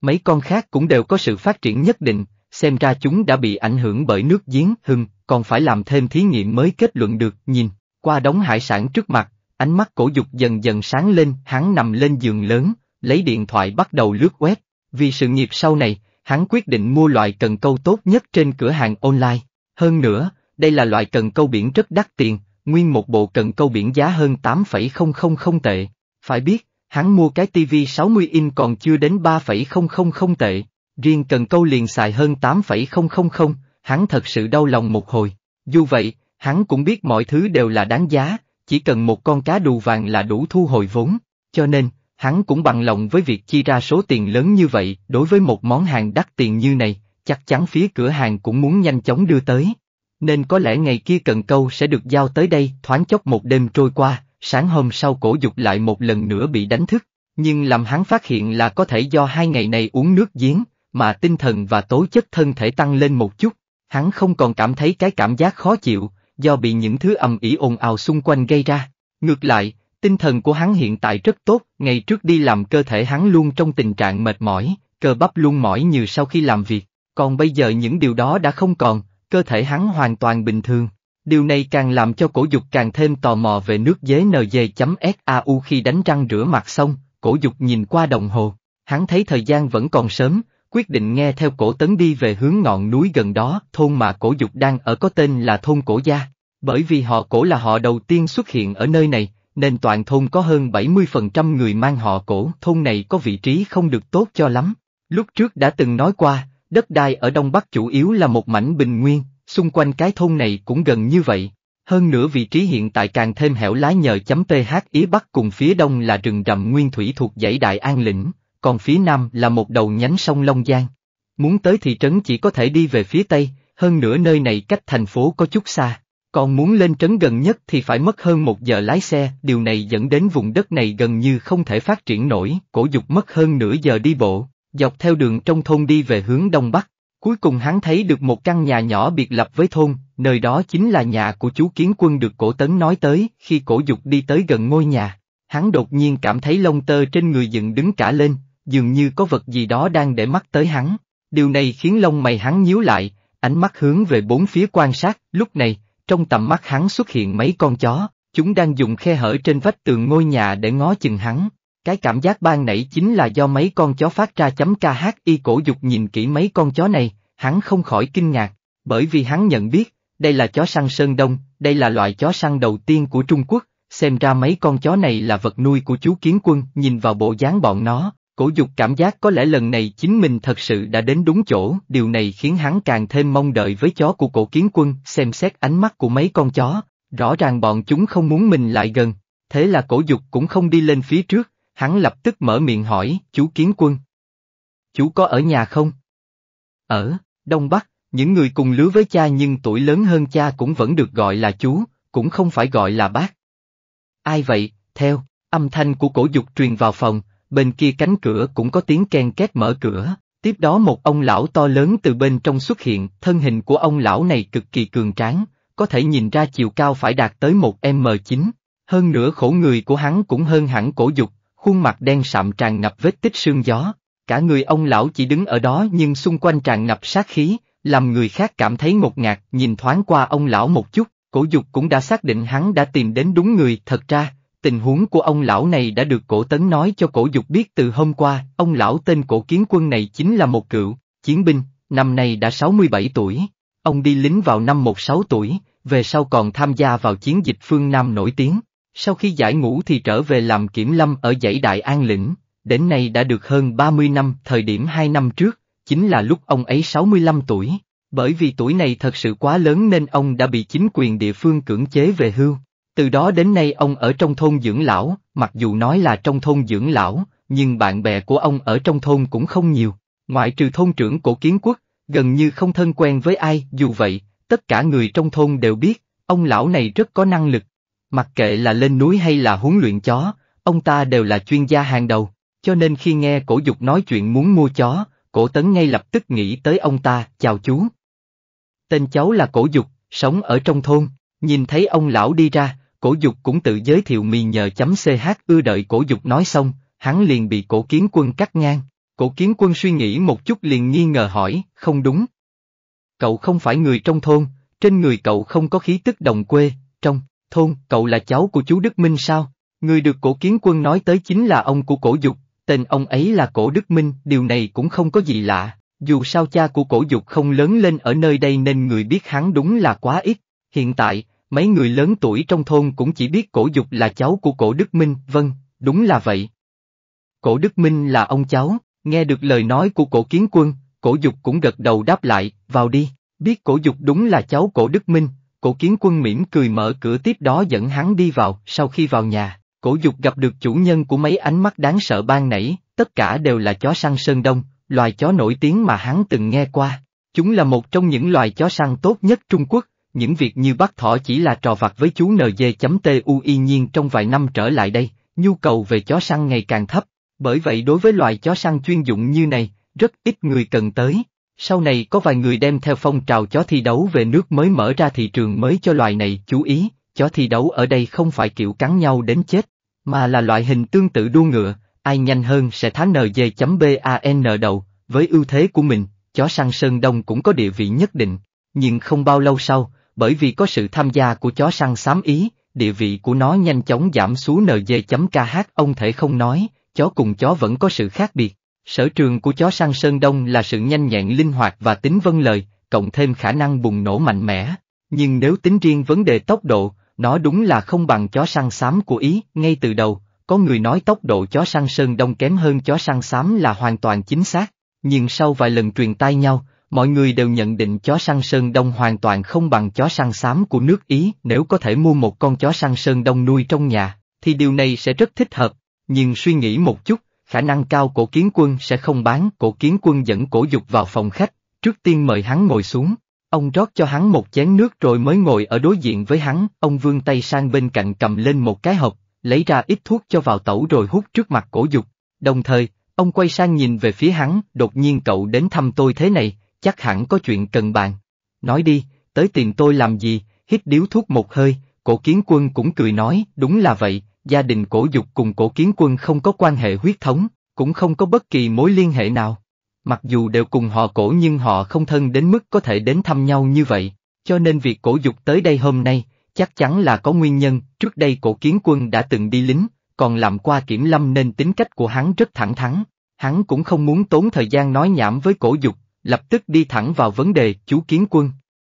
Là như vậy, cháu định ở lại thôn trong thời gian dài, nhưng chú biết đấy, an ninh trong thôn thực sự, ha ha, hôm qua cháu có hỏi ý kiến của cổ tấn, anh ta bảo cháu có thể đến đây xin chó, chó ở đây rất tốt, có thể dùng trong nhà, nở nụ cười xấu hổ, cổ dục nhìn thẳng cổ kiến quân rồi nói rõ ý đồ của mình, muốn mua chó thì nói thẳng, còn xin với sỏ, lắm trò, ha ha, mấy đứa sống trong thành phố đúng là lắm chuyện, chờ cổ dục nói xong, cổ kiến quân liền lườm hắn một cái rồi nở nụ cười, nghe được cổ kiến quân nói như vậy, cổ dục không khỏi có chút xấu hổ, ngại ngùng nở nụ cười đáp lại, nhưng hắn còn chưa cười xong, cổ kiến quân lại lắc đầu, bất đắc dĩ nói, chúng ta vốn là cùng thôn, chuyện cậu tới đây mua chó đương nhiên tôi sẽ đồng ý, đáng tiếc. Lần này cậu tới chậm rồi, gần nhất chó của tôi đã bán sạch, thôn bên cạnh có một cửa hàng bán chó, ông chủ bên đấy đã mua hết chó từ đầu tuần. Nếu muốn mua, ít nhất phải chờ nửa năm mới có nhóm tiếp theo. Có câu châm ngôn rất hay ba mèo bốn chó, ý nói là từ hoài thai đến sinh con non của loài mèo cần ba tháng, còn của loài chó cần bốn tháng, kỳ thực, chu kỳ này đã tính cả thời kỳ động dục của hai loài. Dựa theo lý thuyết, các giống chó chuyên dùng cho sinh sản có thể phối giống ba lần trong một năm. Nhưng mà, nếu làm vậy thật thì con chó kia cũng không sống được, trong vòng hai năm chắc phải chết. Bởi vậy, đa phần người yêu chó sẽ chỉ cho chúng phối một lần trong năm, cổ kiến quân đã dành 30 năm sống trong rừng. Trong thời gian đó lũ chó chính là những người bạn luôn ở bên hắn, thử hỏi sao hắn có thể không yêu chúng, do đó, chó của cổ kiến quân cũng phối giống một năm một lần. Tuy nhiên sẽ được chia thành hai nhóm và sẽ phối giống vào hai thời điểm khác nhau. Sau đó chó con sẽ được nuôi tầm hai tháng ở đây. Trong lúc đó có thể đặt mua trước tất nhiên phải đưa tiền trước, hơn nữa giá tiền cũng không thấp. Một con chó con ít nhất cũng phải hơn 2 ngàn, không kỳ kẹo dù sao những cửa hàng bán chó kia sẽ đeo vòng cổ cho chúng, sau đó tiến hành nuôi dưỡng để phối giống. Chắc chắn một điều là họ sẽ không bán lại, nếu có bán thì giá cũng hơn 5 ngàn, phần lớn chó con sang tháng đều sẽ bán đi. Thứ nhất là tìm một nơi ở tốt cho chó, thứ hai là trợ giúp những gia đình đó có chó trông coi nhà cửa. Không nhất thiết phải yêu thương chúng, nhưng ít ra thì bọn chúng cũng được nuôi dưỡng tử tế, quả thật đây là một yêu cầu rất ích kỷ. Ngoại trừ những người yêu chó ra thì có rất ít người làm được. Thời gian của con người là có hạn, cho nên sự quan tâm chăm sóc cho chó cũng có giới hạn. Trong điều kiện như vậy, tìm cho bọn chúng một người chủ tốt, mới chính là yêu thương bọn nó, phải chờ nửa năm sau. Chuyện này có chút phiền phức, nghe thấy cổ kiến quân nói, cổ dục không khỏi vuốt huyệt thái dương, giống như cổ tấn đã nói, không sợ bị ăn trộm, chỉ sợ bị trộm nhớ. Trong nửa năm này hắn không thể nào cứ ở khư khư trong nhà, chưa nói đến việc lên thị trấn gửi hải sản, mà hắn còn phải về nhà trong thành phố, việc này đúng là quá phiền toái rồi. Hắn không thể nào mà nửa năm đều không về nhà một lần, cha và mẹ sẽ nổi trận lôi đình mất, chẳng lẽ mình vẫn phải lên thị trấn mua một con chó cảnh sao, không biết bồi dưỡng bằng. Nước giếng thì nó có trở lên có ít hơn một chút không, cháu cần gấp sao? Nếu thực sự gấp, ở chỗ chú còn có một con chó, nhưng con chó này cùng lắm là chỉ cho mượn tạm một thời gian, trông thấy cổ dục dường như có chút suy tư, cổ kiến quân suy nghĩ một chút rồi nói với hắn là, những con chó sơn đông ngoài kia ạ, thấy cổ kiến quân nói, cổ dục liền hỏi lại. Nếu như thật là mấy con chó sơn đông ngoài kia thì rất đáng giá, dĩ nhiên không phải. Đó là mấy ông bạn già của ta, không cho mượn được, vừa dứt lời, cổ kiến quân lập tức lắc đầu bình tĩnh nói, vậy thì, nghe thấy cổ kiến quân nói như vậy, cổ dục không khỏi có chút bối rối, đi theo ta, thấy sự tò mò trong mắt cổ dục, cổ kiến quân cũng đứng lên, sau đó dẫn hắn đi ra sân nhỏ ở sau nhà, khi cổ dục ra tới sân sau, đập vào mắt hắn đầu tiên là một vườn rau nhỏ. Chuyện này cũng bình thường vì ở nông thôn nhà nào cũng có một vườn rau sau nhà. Bình thường muốn ăn thì ra vườn hái hoặc đem ra chợ bán kiếm chút tiền. Nhưng cái khiến cổ dục chú ý, chính là ở trong xó xỉnh vườn rau có một chiếc củi sắt lớn, bên trong đó đang nhốt một con chó. Khi cổ dục đi theo cổ kiến quân ra khu vườn nhỏ ở sân sau, hành động của họ cũng làm kinh động con chó kia. Con chó vừa quay đầu lại, khiến cổ dục có cảm giác lông tơ sau óc dựng đứng, bởi vì khi thấy được ánh mắt của con chó kia, hắn cũng cảm giác được một cổ lạnh lùng trên người nó. Trong mắt của hắn, con chó kia không phải là chó, mà là một loài mảnh thú, sói. Nhìn thấy con chó này, cổ dục chợt nghĩ đến đám sói trong sở thú đã từng gặp qua. Tuy bọn này đã sớm không còn hung tính, thế nhưng, cái ánh mắt lạnh lùng của chúng giống hệt con chó này, hồ. Nhóc con cậu cũng có chút hiểu biết nhỉ. Tuy nhiên đây không phải sói, nhưng mà cũng không tính là chó, dẫn theo cổ dục tới gần chiếc lồ nờ dê sắt, cổ kiến quân ngồi sổng bên cạnh quan sát con chó này, trong mắt ông tràn đầy cảm xúc, hả? Vậy là ý gì? Học theo cổ kiến quân ngồi sổng xuống bên cạnh, cổ dục cẩn thận hỏi, con này là chó. Nhưng một nửa là chó, một nửa là sói, thân thế của nó chính là vậy, hít một hơi thuốc lá, cổ kiến quân đem chuyện con chó nói đơn giản một lần, con chó này mặc dù được cổ kiến quân nuôi lớn, nhưng thật ra mà nói thì nó cũng không phải là chó của cổ kiến quân, bởi vì, mẹ của con chó này là một con cao ca súc, mà con chó này là của một người chiến hữu của cổ kiến quân. Đây là một giống chó nghiệp vụ, thời Liên Xô cũ nó được coi như là quốc khuyển. Lúc trước, hai người đánh xong trận rồi xuất ngũ, vì đều là đồng hương nên cùng làm nhân viên kiểm lâm. Chỉ có đều cổ kiến quân thì canh giữ tại dãy Đại Hưng An lĩnh bên này, còn chiến hữu thì canh giữ tại dãy Đại Hưng An lĩnh bên kia núi. Vì chiến hữu kia thông qua kết giao uống rượu với người Tây Dương, xin được một con chó con cao ca súc là một giống chó vương giả. Hắn vui vẻ ghê gớm, còn không ít lần tới nơi này cười đắc ý, được hắn chú tâm nuôi dưỡng, con chó này có dáng vóc cực lớn lại cực kỳ ưu tú. Lúc nó trưởng thành thật sự là một con chó vương giả trong loài, nhưng chính bởi vì con cao ca súc này quá mức ưu tú, chó bình thường nó không để vào mắt. Nhưng mà, nó lại cùng vua sói trong dãy đại hưng an lĩnh ở Siberia mến nhau chấm ph ác hiện được việc này, chủ nhân cao ca súc lập tức đem nó nhốt lại. Kết quả là trong một buổi tối, con vua sói kia lặng lẽ rời núi tiếp cận nơi ở của người kia. Một trận đại chiến người và sói diễn ra làm kinh động mọi người. Đến khi cảnh sát tới nơi thì vị chiến hữu kia của cổ kiến quân đã bị sói cắn chết, mà vua sói cũng bị người kia đánh chết. Sau đó người thân của hắn kiểm tra một số di vật, phát hiện một phong thư ghi chép lại những chuyện này cùng với một tờ di chúc. Trong di chúc có nói, nếu như hắn chết thì đem con chó này đưa cho cổ kiến quân, cổ kiến quân lúc nhận được con chó này thì phát hiện nó đã mang thai. Ngay từ đầu ông đã cố chăm sóc nó thật tốt, nhưng tiếc là, con chó này đối với ai cũng rất lạnh nhạt. Cổ kiến quân nhìn ra, con chó này trong lòng đã có ý muốn chết, bởi vì, chủ nhân và một nửa kia của nó đồng quy vu tận, nếu đổi là ai thì cũng không muốn sống, nếu như không phải trong bụng có đứa con, có lẽ nó đã sớm chết rồi, ý nghĩ của cổ kiến quân cũng không sai, sau khi con chó này sinh ra chó con hơn một tháng, lúc chó con vừa dứt sữa ngày thứ ba, cổ kiến quân tại một sườn đồi phát hiện được thi thể của nó, chính nó tự mình nhảy xuống núi tự sát, mà đầu chó con kia có lẽ vì trong thân có huyết mạch của vua sói và vua chó, cho nên từ lúc nhỏ con chó này rất khó nuôi dưỡng. Đặc điểm lớn nhất của nó chính là không thích người lạ, con chó này nó có trí thông minh cao, rất lanh lợi. Nó chỉ cần nhìn qua một lần kỹ xảo đi săn của những con chó sơn đông là đã học được, nhưng cho dù kỹ năng huấn luyện chó của cổ kiến quân rất mạnh, với lại đã nuôi dưỡng nó từ khi còn bé, thế mà, nó xưa nay chưa từng thừa nhận cổ kiến quân là chủ nhân của nó, thấy được cổ kiến quân, đừng nói là vẫy đuôi chỉ nhìn ánh mắt của nó cũng biết. Nó không có chút tình cảm nào với cổ kiến quân cực ực, con chó này, giao cho cháu sao, cổ dục nghe cổ kiến quân kể xong lai lịch của con chó này, không tự chủ nuốt nước miếng một cái, hắn thấp giọng mà hỏi, đây cũng có thể là một nguy cơ với cậu, có tin không? Cậu vừa mở chiếc lồ NG ra, nó sẽ lập tức xông đến tấn công cậu, con chó này không thích người lạ, nhưng ưu điểm của nó chính là đủ tàn nhẫn và hung dữ. Cậu đem nó buộc vào một chỗ trong sân nhà, thường xuyên cho nó ăn và mớm nước. Đừng nói là mấy tên vô lại, xem như là hổ đông bắc hay là gấu nâu có tới đi nữa, thì cũng chưa chắc có thể tiến được vào sân nhà của cậu. Chuyện xưa kể xong và một điếu thuốc cũng hút xong. Hắn tiện tay ném tàn thuốc xuống đất dẫm tắt, cổ kiến quân hơi xúc động nói, tuy nhiên, nói xong suy nghĩ của mình, cổ kiến quân vừa cười vừa bồi thêm một cậu, nhưng nếu mà cậu thật sự có thể nuôi dưỡng được con chó này, tôi sẽ giao nó cho cậu, xem như là nó đã tìm được một ngôi nhà mới. Ực. Được à, lại nuốt nước miếng một cái, mặc dù cổ dục không biết chuyện này là tốt hay xấu, nhưng ít nhất bây giờ thì chỉ có con chó này là phù hợp với tiêu chuẩn của hắn, ngay lập tức cổ dục gọi điện cho cổ tấn đến đây, dù sao con chó này chắc chắn không có khả năng thả ra để dắt về, cho nên hắn chỉ có thể mang nó đi cùng với cả chiếc lồ NG này, con chó không quá nặng cổ dục có thể mang được, vấn đề là cái lồ NG này được hàng từ thép, không có biện pháp nào khác, cho nên chỉ có thể gọi cổ tấn lái xe tới để kéo về, sau khi cùng cổ tấn đem chiếc lồ NG mang về nhà, hắn đặt nó ở trước sân. Lúc này, bà nội hai ở bên kia đang gọi hắn sang ăn điểm tâm, nhưng cổ dục không có vội vã đi ăn. Trước tiên hắn sang nhà bà nội hai làm một chút cháo, tiếp đó lại đến cái giếng lấy một chút nước bên trong cho vào một cái tô. Cổ dục chuẩn bị cho con chó này ăn u ố nj.khi cổ dục mang nước giếng và cháo đi tới cạnh chiếc lồ nj ở trước sân, con chó đột nhiên đứng lên.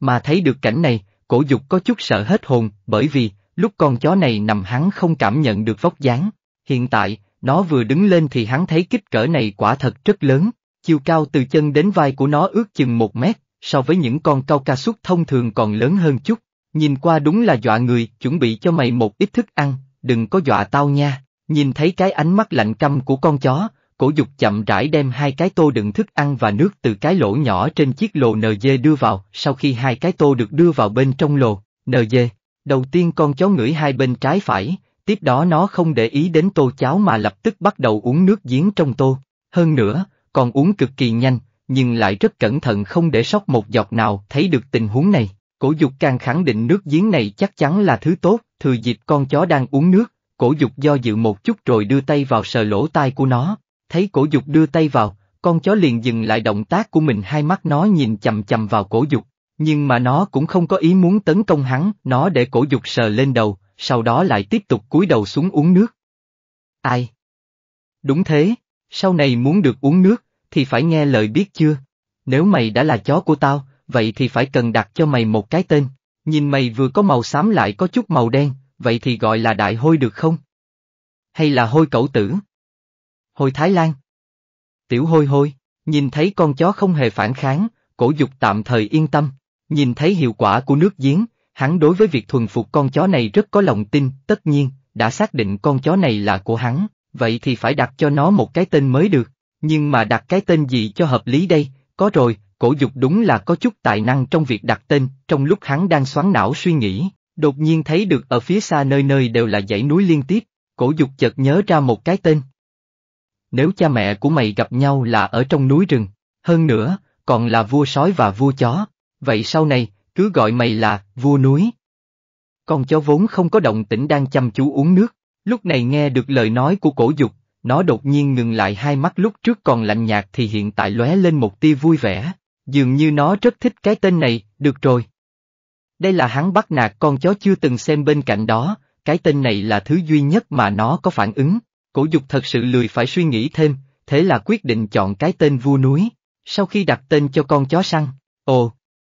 Hiện tại phải gọi là núi vương chứ, cổ dục quay lại nhà ông nội hai để ăn điểm tâm, mặc dù gia đình ông cảm thấy hơi lạ vì quyết định ở lại thôn của cổ dục, nhưng cổ dục đã muốn ở lại nơi này, vậy thì bọn họ chỉ cần cố gắng giúp đỡ nhiều một chút là được rồi, chưa nói đến việc cổ dục, một người thì có thể ăn được bao nhiêu. Chỉ riêng việc mấy ngày nay cổ dục đem đến đồ vật cũng có không ít, hôm trước cổ dục câu được mấy thứ kia, hắn liền cầm qua nhà ông, nào là cua tuyết, cũng có không ít cá. Mặc dù chúng không quá to, nhưng mấy thứ này cũng đáng giá hơn mấy ngàn tệ. Còn có hôm qua, cổ dục đi lên trấn mua không ít đồ điện gia dụng, cổ dục cũng tiện tay mua cho nhà ông vài món đồ thường ngày sử dụng NG.TRONG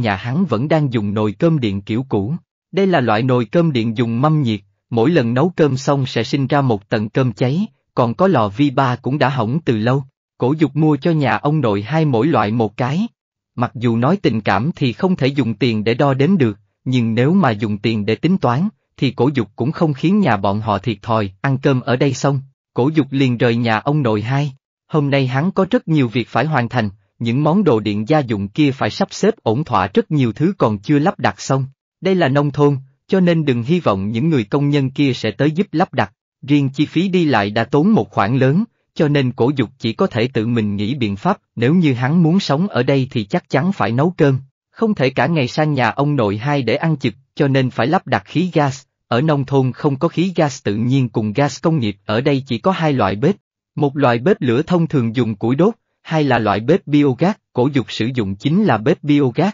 cũng may lúc xây lại nhà đã cân nhắc qua cái vấn đề này. Nhà của cổ dục sử dụng chung hầm gas với nhà ông nội hai, cho nên hắn chỉ cần nối thêm một đường ống dẫn là được, cái chuyện này chú ba lập tức liền giúp hắn giải quyết, kế tiếp, nếu muốn sống ở chỗ này thì hắn còn cần mua rất nhiều thứ, đồ ăn thức uống, đồ dùng sinh hoạt, tuy nhiên những thứ này đều có thể mua tại cửa hàng tạp hóa, từ 9 giờ sáng bận rộn đến giữa trưa, cổ dục lại đi sang nhà ông nội hai ăn cơm, sau đó lại tiếp tục bận rộn đến buổi chiều, lúc chiều trên trấn đưa tới bể cá mà hôm qua cổ dục đã đặt, cổ dục đặt nó tại lầu 2, sau khi sắp xếp đặt xong bể cá thì cổ dục đem tất cả những thứ hải sản kia dời vào bể này để nuôi dưỡng, nếu như lúc này những người hiểu biết khi nhìn, thấy đám hải sản này, không chừng sẽ bị hù chết. Nước ngọt nuôi hải sản, nhà hắn cũng xem như là độc nhất nha chấm NHANH chống ở nhà ông nội hai ăn xong cơm chiều, cổ dục cơ bản đã bố trí xong nhà cửa. Lúc này, hắn đang nằm ở trên salon phòng khách, cổ dục nhìn lên trần nhà rồi ngẩn ra, có thể là do mấy ngày qua hắn đều uống nước giếng, nếu đổi lại là lúc bình thường,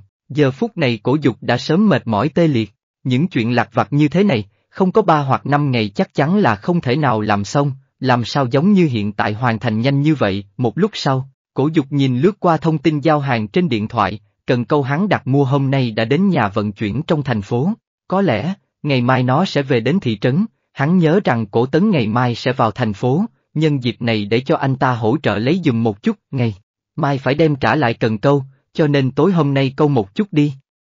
Tính ra thì cũng đã hai ngày rồi không có đi câu, nhìn thông tin vận chuyển của cần câu, đột nhiên tinh thần cổ dục tỉnh táo trở lại, đã hai ngày rồi không có câu cá, trong lòng hắn lúc này có chút ngứa ngáy, hơn nữa hắn cũng muốn nhanh có thêm doanh thu. Muốn thuyết phục được cha mẹ thì đầu tiên phải cầm thành tích đến mới được nha. Mà thành tích tốt nhất thì dĩ nhiên chính là tiền, cổ dục mang theo một cái ghế di chuyển đến cái giếng, hắn cũng đã chuẩn bị xong cần câu để ném vào bên trong giếng nước. Khi dây câu không ngừng chìm xuống, cổ dục trong lòng nhẩm tính 10 mét, 20 mét, 30 mét, 40 mét, 50 mét, 60 mét, 70 mét, rất nhanh 100 mét dây câu cũng đã thả ra hết, điều này khiến cổ dục bắt buộc phải thu lại dây câu, bởi vì dây câu không đủ dài, đồng thời hắn cũng rất hiếu kỳ, dường như chưa có lần nào câu được thứ gì mà sâu đến thế này.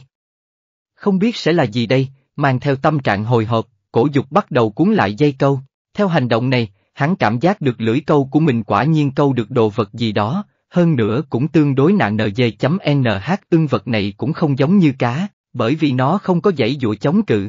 Mang theo tâm trạng hoài nghi, hắn cố gắng kéo lên dây câu. Nói 100 mét dây câu dài cũng không coi là dài, nói ngắn thì cũng không phải ngắn. Ước chừng mấy phút sau, cổ dục thu lại dây câu đã lên tới mặt nước, dựa vào chút ánh sáng, cổ dục nhìn xuống bên dưới giếng. Hắn thấy được mình câu lên vậy mà lại là một cái rương, tuy nhiên, khi cổ dục vừa nhìn thấy cái rương này, trong nháy mắt nó liền hóa thành một vệt sáng tiến vào trong đầu của cổ dục, tiếp đó cổ dục cảm thấy mình nghe được một giọng nói vang lên, dường như ở một nơi sâu xa thăm thẳm nào đó trong đầu truyền đến, đinh.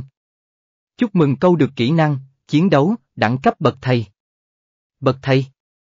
Chiến đấu, còn không đợi cổ dục hiểu rõ chuyện gì, đột nhiên thân thể của hắn truyền đến cảm giác đau đớn, nhưng cơn đau này đến nhanh, đi càng nhanh hơn, giống như cái bật lửa bằng tia điện, bên trong sẽ sinh ra một dòng điện, điện giật một cái khiến cơ thể đau một chút, nhưng cái này sẽ rất nhanh biến mất. Cổ dục hiện tại chính là có cảm giác như vậy, tuy nhiên khi cơn đau kia nhói lên một cái rồi biến mất, trong nháy mắt cổ dục cảm thấy cơ thể mình không giống như trước nữa. Vốn dĩ mấy ngày này uống nước giếng, cảm thấy tinh thần rất tốt khiến thân thể cổ dục khỏe mạnh lên trông thấy. Nhưng vào lúc này, thân thể hắn tràn đầy sức mạnh, dường như có cảm giác một đấm của hắn bây giờ có thể đánh chết một con trâu, đúng vậy, thật sự không có bốc phét, hắn cảm giác mình có thể đánh chết một con trâu, cổ dục vén lên y phục của mình nhìn qua thân thể, vốn trước đây còn có một chút thịt nhão cùng mỡ bụng, nhưng vào lúc này, đều toàn là cơ bắp từng khối, cơ bụng sáu múi, cơ bắp rõ ràng trên cánh tay hắn, sau lưng không cần nghĩ cũng biết chắc cũng là cơ bắp hình tam giác ngược. Tất cả cơ bắp đều phát triển một cách đáng kinh ngạc, ngoại trừ những thay đổi đó trên cơ thể, điều khiến cho hắn kinh khủng nhất đó chính là, trong đầu đột nhiên cảm nhận được một số biến hóa, triệt quyền đạo, tán đả, bát cực quyền, taekwondo, karate, nhu đạo, đấu vật, boxing, quyền thái, diêu jitsu vân vân. Các môn các phái, các loại võ thuật, tất cả đều tiến vào trong đầu cổ dục, hơn nữa toàn bộ đều đạt đến mức thượng thừa, nắm đấm, chân, mặt đất, khủy tay, đầu gối, đầu, lúc, này, trên người hắn bất cứ bộ vị nào cũng có thể hóa thành vũ khí lợi hại nhất. Hắn cảm giác mình bây giờ có một ngàn loại năng lực và cách thức giết người. Nhìn lên hai tay của mình, cổ dục bỗng thấy choáng váng, hắn vốn dĩ cảm thấy cái giếng này có vấn đề, đáy giếng cũng có chút vấn đề. Nhưng hiện tại nhìn lại, chẳng lẽ thế giới này cũng có vấn đề, nghĩ tới đây, hắn không khỏi vuốt mặt mình cưỡng ép bản thân bình tĩnh trở lại, ít nhất thì cho đến hiện tại, thế giới này cũng chưa có biến thành nơi có linh khí hay khôi phục lại các loại thế giới võ hiệp như trong tiểu thuyết. Hắn học được đều là một chút kỹ xảo chiến đấu, không có cái gì gọi là nội công phi thăng các loại. Không cần nghi ngờ nữa, đây vẫn là thế giới thực tại không có võ công. Kỳ quái và nghi ngờ nhất vẫn là cái giếng này, mà loại biến dị cùng kỳ quái này đối với hắn lại là có chỗ vô cùng tốt. Nhớ đăng ký kênh F5 truyện để giúp mình có thêm động lực nha. Chú ba. Trả lại người cần câu, rạng sáng hôm sau, cổ dục đi sang ao cá bên kia, đem cần câu trả lại cho chú ba, không cần dùng nữa sao? Không cần nữa, cảm ơn chú, sau, khi nhận được cần câu, hai người còn nói chuyện vài câu rồi cổ dục mới quay về nhà, về đến nhà, việc đầu tiên cần phải làm là lấy một chút nước cho vua núi ở trong sân uống. Sau một ngày được gột rửa bằng nước giếng, trạng thái của nó tốt hơn so với hôm qua rất nhiều, đương nhiên là tình trạng lúc đầu của nó cũng không tệ. Nhìn cổ kiến quân vậy thôi chứ cũng là cao thủ nuôi chó, làm sao có thể để nó suy dinh dưỡng hay bệnh tật đầy người, chỉ là nó ở trong chiếc lồ nờ dê lâu quá, cho nên trạng thái tinh thần không được tốt lắm, nhưng mà hôm nay đã khôi phục được trạng thái tốt nhất. Đôi mắt không chút tình cảm trước kia của nó khi nhìn về cổ dục, giờ đã có thêm một chút linh trí, hôm qua khi cổ dục sờ đầu thì nó còn đứng yên, còn bây giờ thì khô nh in bộ dạng của nó lúc này, cổ dục đang cân nhắc xem liệu có nên buộc cho nó một sợi xích sắt rồi tạm thời thả nó ra hay không. Hắn cảm thấy nước giếng này quả thực thuần hóa động vật rất hiệu quả, cho vua núi uống nước xong, cổ dục đi vào phòng khách ở tầng 2, vừa tiến vào tầng 2, cổ dục cảm thấy mình như đang lạc vào một nhà hàng hải sản hôm qua, kể từ sau khi hắn câu được kỹ năng chiến đấu, cấp tông sư, thì cổ dục ngồi câu một mạch đến tận 11 giờ khuya mới đi ngủ, mà mấy tiếng đồng hồ đó, cổ dục thu hoạch được không ít, mặc dù không câu được cá đu vàng, nhưng mà hắn kiếm được một con còn quý hơn con cá đù vàng kia. Đó chính là con cá sủ vàng đang bơi một mình trong bể nước lớn bên kia, loại cá này từ xưa đã là một thứ quý giá trong đám sơn hào hải vị. Nhất là bong bóng của nó, được coi là nguyên liệu nấu ăn đứng đầu, không có cái nào bằng được, đã từng có ngư dân đánh bắt được một con cá sủ vàng nặng hơn 30 kg. Ngay lập tức có người ra giá 2 triệu tệ để mua lại, nhưng tiếc là hắn không bán, nhưng mà, con cá này quả thật rất xứng đáng với cái giá đó, con cá mà cổ dục câu lên này dài gần 1m50, cơ thể phải nặng tới 60 kg. Cá sủ vàng lớn như vậy nên bán 5 triệu là một cái giá rất hợp lý, nếu như không phải trước đó cổ dục câu được kỹ năng chiến đấu, thì cũng chẳng có cách nào để câu được con cá này. Thật sự là nó quá nặng và to lớn, mặc dù muốn bán nhưng vấn đề nằm ở chỗ, hắn không có cách nào để bán bởi vì loài cá này quá đắt, nên nó bị săn bắt quá nhiều, dẫn tới mức quá hiếm, nên bị chính phủ liệt vào danh sách động vật bảo vệ cấp độ 2, mặc dù cấp 2 chưa tới mức ngồi tù, nhưng cổ dục tuyệt đối không dám bán, hắn chưa điên tới mức đó, thứ này giống như củ khoai nóng bỏng nằm trong tay cổ dục, hắn không biết phải xử lý thế nào, bán thì chắc chắn là không dám rồi, còn thả về biển, thì cũng phải đem nó về đã, mà chỗ này cách biển tận 6, 700 km, bảo hắn đem nó thả về biển bằng cách nào, cho nên vừa nhìn thấy vật này, hắn cảm thấy vô cùng đau đầu, bây giờ chỉ có thể coi nó như tổ tông mà cúng bái, để sau này rồi tí nhờ chấm NGO ại trừ con này ra thì cổ dục cũng câu được vài con khác, nhưng giá trị của chúng cũng không cao chấm TR ừ của hoàng đế, bào ngư đen. Tôm sú ra thì hắn còn câu lên được rất nhiều cá, ví như bốn con cá hồi đại Tây Dương này, chính là loại cá hồi nổi tiếng về giá trị thương phẩm, mấy thứ này ở Trung Quốc cái gì cũng có lừa gạt, giống như ở bên nhà cổ dục có loại cá hồi chó, mặc dù cũng thuộc họ cá hồi nhưng chính xác mà nói thì không phải cá hồi, huống chi, còn có mấy loại giả mạo khác như cá hồi vân nước ngọt, cá hồi vàng, thương, nhưng bây giờ quả thực không có lương tâm, và việc họ lừa dối khách hàng là chuyện rất rõ ra NG.th thật sự mà nói, cá hồi chính tông thì chỉ có cá hồi Đại Tây Dương mà thôi, những con cá đến từ Na Uy là chính xác nhất, hơn nữa, những con cá mà cổ dục câu được đều là cá thiên nhiên, bốn con cá kia cũng khá to, đều trên dưới 10 kg chấm THEO giá thị trường. Cá hồi thiên nhiên một con hơn 10 kg giá ước chừng 2.000 tệ. Hắn có bốn con, vậy tính ra cũng đáng giá hơn 8.000, nhưng nếu mà nói đáng giá nhất, thì phải kể đến hai con tôm hùng út mà hôm qua cổ dục câu được, mấy thứ này từ 2-3 kg đều có giá hơn ngàn tệ cho mỗi kg. Hai con tôm này của cổ dục, một con nặng 3,7 kg, một con nặng 4,1 kg. Nếu bán ra ít nhất cũng được hơn 7.000 tệ, nhưng mà, đây cũng chỉ là đơn giá trên thị trường. Nếu mà xét rộng hơn một chút, trên thị trường còn có loại tôm hùm hoa nếu mà cũng lớn như thế, thì đúng là rất đáng giá. Nhưng mà, bình thường tôm hùm hoa cũng chỉ loanh hoanh 0,5-2 kg mà thôi ngoại trừ cá sủ vàng ra. Cộng những thứ linh tinh lại thì một đêm cổ dục kiếm được 30.000 không thành vấn đề, nhưng vấn đề ở chỗ, làm sao để bán mấy thứ linh tinh này ra ngoài, không cùng xuất một lô hàng, nhất định là cả một vấn đề, mà trừ đóng hải sản kia ra, cổ dục còn phát hiện một chuyện, mặc dù nói hắn câu được cá là ngẫu nhiên, nhưng không thể nói là không có quy luật, đó chính là, bắt đầu một ngày mới, câu lúc đầu sẽ ra những loại hải sản có giá trị, nhưng càng về sau, giá trị của những thứ câu được càng giảm, thậm chí, con cá cuối cùng hôm qua câu lên được chính là một con cá rô phi, thứ này quả thực không đáng tiền, nên hắn chẳng thèm ném vào két nước mà trực tiếp ném vào tủ đông lạnh, được rồi. Từ hôm sau không cần thiết phải câu quá nhiều, dù sao thì đồ tốt chỉ lúc đầu mới câu được, cổ dục vuốt cầm, nhìn những thứ nho nhỏ này mà lẩm bẩm, hắn cần phải bảo quản đống này mấy ngày, sau đó lại tìm phương lượng để bán, tốt nhất là xem mấy ngày này có thể câu được cá đụ vàng hay không, vì những con này mới đáng tiền, cổ dục đang trên tầng hai nắm cá, đột nhiên có tiếng hét thất thanh của trẻ con vọng từ sân nhà hắn, còn cả tiếng lồ nờ dê chó rung động, à, nghe thấy tiếng động, cổ dục liền chạy thẳng đến cửa sổ, hắn sợ vua núi phá lồ nờ dê thoát ra cắn người. Cũng may, lúc này hắn nhìn thấy nó vẫn còn ở trong lồ nờ dê sắt, nhưng cách đó không xa có một cô bé đang ngồi bệt ở dưới đất, hoảng sợ chỉ vào con chó, cổ dục sững sờ nhìn cô bé. Tình huống gì đây, cô bé, có làm sao không, mặc dù hơi nghi ngờ, nhưng cổ dục vẫn đi xuống, đỡ cô bé dậy rồi hỏi hang chấm SAU khi nghe thấy cổ dục hỏi thì cô bé cũng đã bình tĩnh trở lại, rồi nhìn con chó, xong rồi nhìn lên cổ dục, lại nhìn con chó, rồi lại nhìn cổ dục,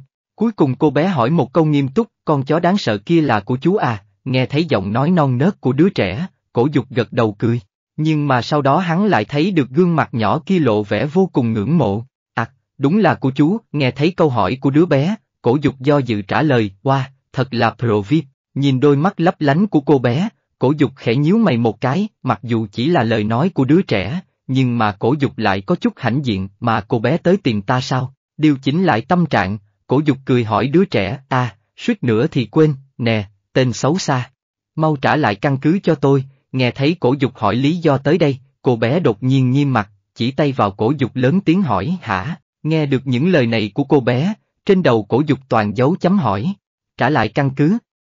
Cái quái gì vậy, tú tú, đang lúc cổ dục mơ màng, đột nhiên cổng nhà mở ra, một ông lão xuất hiện trước mặt cổ dục. Ông lão có vẻ bất ngờ khi nhìn thấy hắn, nhưng rồi cũng nhớ ra hắn là ai hồ.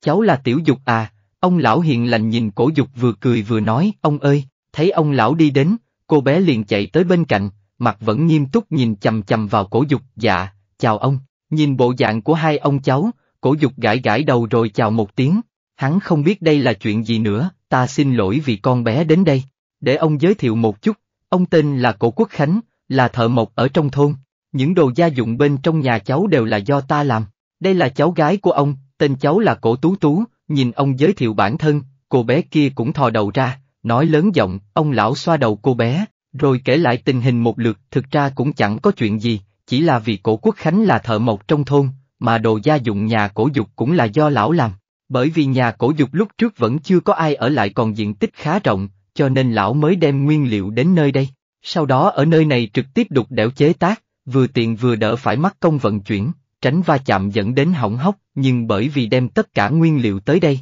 cho nên mỗi ngày lão đều phải tới nhà cổ dục để làm việc. Mà bố mẹ cổ tú tú lại phải đi làm bên ngoài, cho nên khi cô bé chưa đến tuổi đi học thì đều theo ông đến đây chơi cả ngày. Dường như, cô bé xem nhà của cổ dục là căn cứ bí mật của mình, sau khi cô bé lên 7, cũng là tuổi nhập học, bởi vì trong thôn không có trường tiểu học, cho nên cô bé phải lên thị trấn để học, vì để thuận tiện, cho nên chọn học nội trú ở trường, một tuần trở về một lần, cổ dục khi nghe được lời nói của cổ quốc khánh, mới nhớ ra hôm nay hình như là thứ bảy, này, tú tú, nghe ông dặn, từ nay đây là nhà của chú tiểu dục, không phải là căn cứ bí mật của cháu nữa, giải thích xong lý do ông cháu có mặt ở đây, cổ quốc khánh mỉm cười nói với cổ tú tú, à, chuyện này, chú ơi, sau này cháu có thể đến chơi nữa được không, cô bé dường như nghe rõ, nhưng vẫn không hiểu gật đầu một cái tượng trưng. Tiếp theo cổ tú tú nhìn cổ dục mà hỏi, nhìn ánh mắt thẫn thờ của cô bé, cổ dục không khỏi gãi đầu. Nếu từ chối thì có hơi vô tình, nhưng nếu đồng ý thì cũng không quá tốt,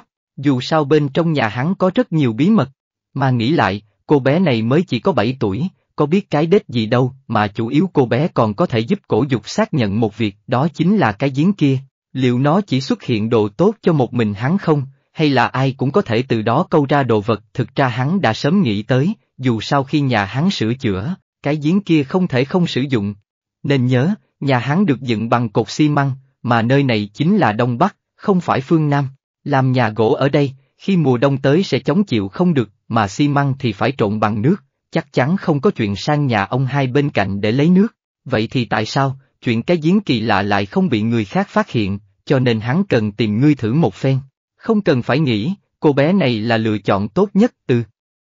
Có thể, à, được sự đồng ý của cổ dục, cổ tú tú lớn tiếng kêu la, chà. Làm phiền cháu rồi, cổ dục, cổ quốc khánh lúc này cũng cười lúng túng, đây chẳng khác gì gây thêm phiền toái cho người khác, không sao cả.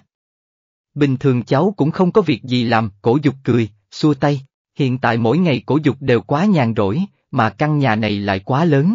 Nếu có chút âm thanh cũng không tính là chuyện xấu, vậy ông đi về trước, ở nhà vẫn còn có đồ một phải làm. Tú tú nhờ cháu nhé, nhìn cổ dục có vẻ không cảm thấy phiền, cổ quốc khánh cũng vui mừng nở nụ cười rồi rời khỏi nhà cổ dục, đợi ông lão đi về hẳn rồi, cổ dục đang muốn gọi cổ tú tú ra giếng nước để thử nghiệm, nhưng vừa quay đầu lại đã không thấy con bé đâu, sao? Đó ở trong phòng hắn bỗng truyền đến tiếng la của cổ tú tú, a tài, không biết đưa tới một tên, gấu con, là Phúc hay Hòa đây. Trên đầu bốc khói đen, cổ dục miệng lẩm bẩm bước nhanh đi vào trong nhà, quả nhiên khi đi lên tầng 2, đã thấy cổ tú tú đang nằm cạnh bể cá, trừng mắt nhìn con cá sủ vàng, tú, tú, cháu có thể chơi ở đây, nhưng mà chú nói trước một chút, có một số chỗ không được đi vào nha, cổ dục đưa hai tay bế cô bé lên, sau đó giới thiệu những nơi nào tương đối nguy hiểm, ví dụ như nhà bếp là không thể tùy ý đi vào, bởi vì trong nhà bếp có bếp lò rất nguy hiểm, còn có cái giếng nước phía sân sau, mặc dù đã có nắp đậy nhưng với tên gấu con nghịch ngợm này cũng không an toàn,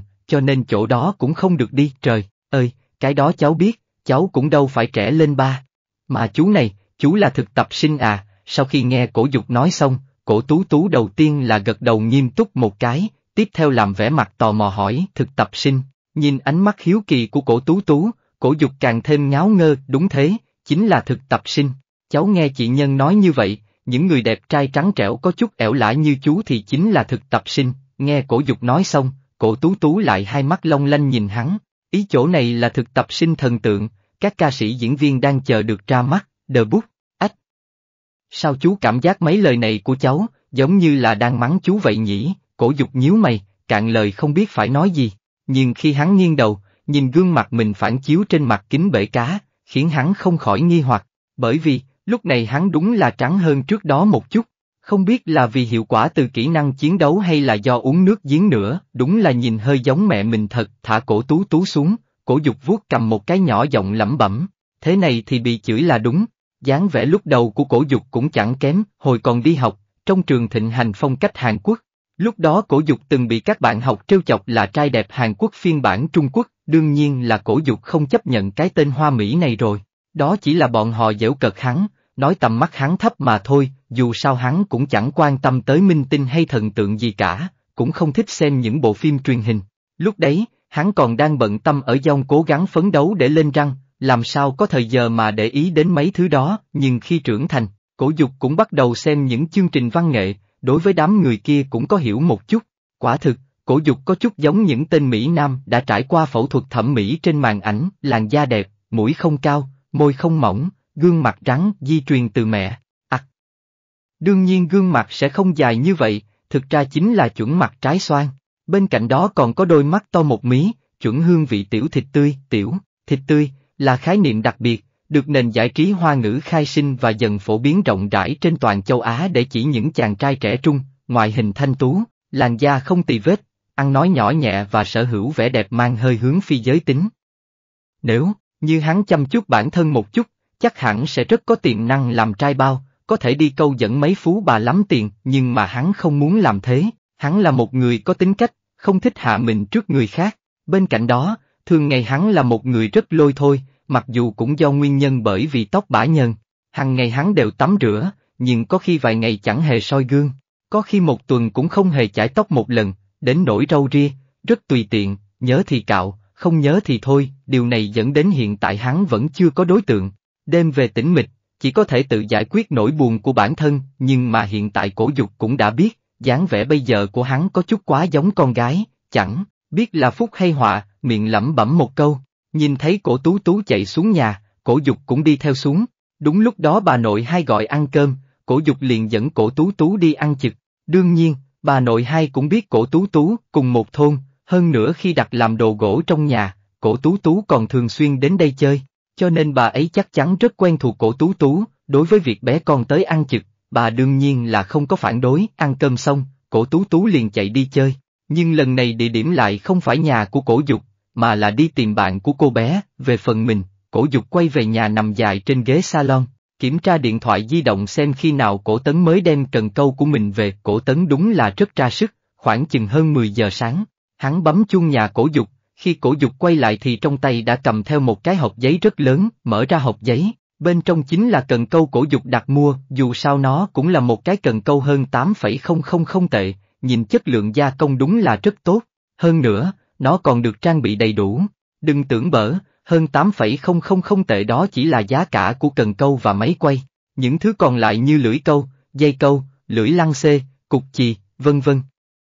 Đều, là cổ dục tự mình mua thêm, tốn cũng không ít đâu đấy, mà điểm khác biệt lớn nhất so với cần câu mượn của chú ba, chính là cái cần câu này rất lớn, thực ra cái cần câu này không dùng để câu cá bình thường, mà chuyên dụng để câu mấy con cá siêu to khổng lồ. Theo như lời người bán, cho dù cổ dục có dùng cần câu này câu được con cá mũi kiếm nặng 500kg đi chăng nữa cũng vẫn ok, chỉ là hắn có đủ sức để nhấc nó lên hay không mà thôi, nếu như cần gãy hay dây đứt, hắn sẽ bồi thường toàn bộ cho cổ dục, phải biết cái dây câu này là dây được bệnh từ vật liệu nhựa pe, nhựa polythene, bên trong còn có cả dây thép, đến kéo ô tô còn chẳng đứt, nói gì dăm ba con cá, dây câu này đúng là không tệ, chủ cửa hàng bán cho cổ dục 300 mét dây câu này, cần câu, dây câu, trục máy, cổ dục tương đối hài lòng với tất cả, sau khi chuẩn bị tốt toàn bộ cần câu xong, cổ dục dự định ra phía sau giếng thử xem một chút, đóng chặt cửa nhà, đề phòng người khác đi vào, sau đó đem một cái ghế nhỏ ra sân sau, hắn chợt phát hiện, thực ra bản thân câu cá không cần phải dùng mồi câu, chuyện này bắt đầu từ lúc hắn câu lên được cái bào ngư đen đầu tiên,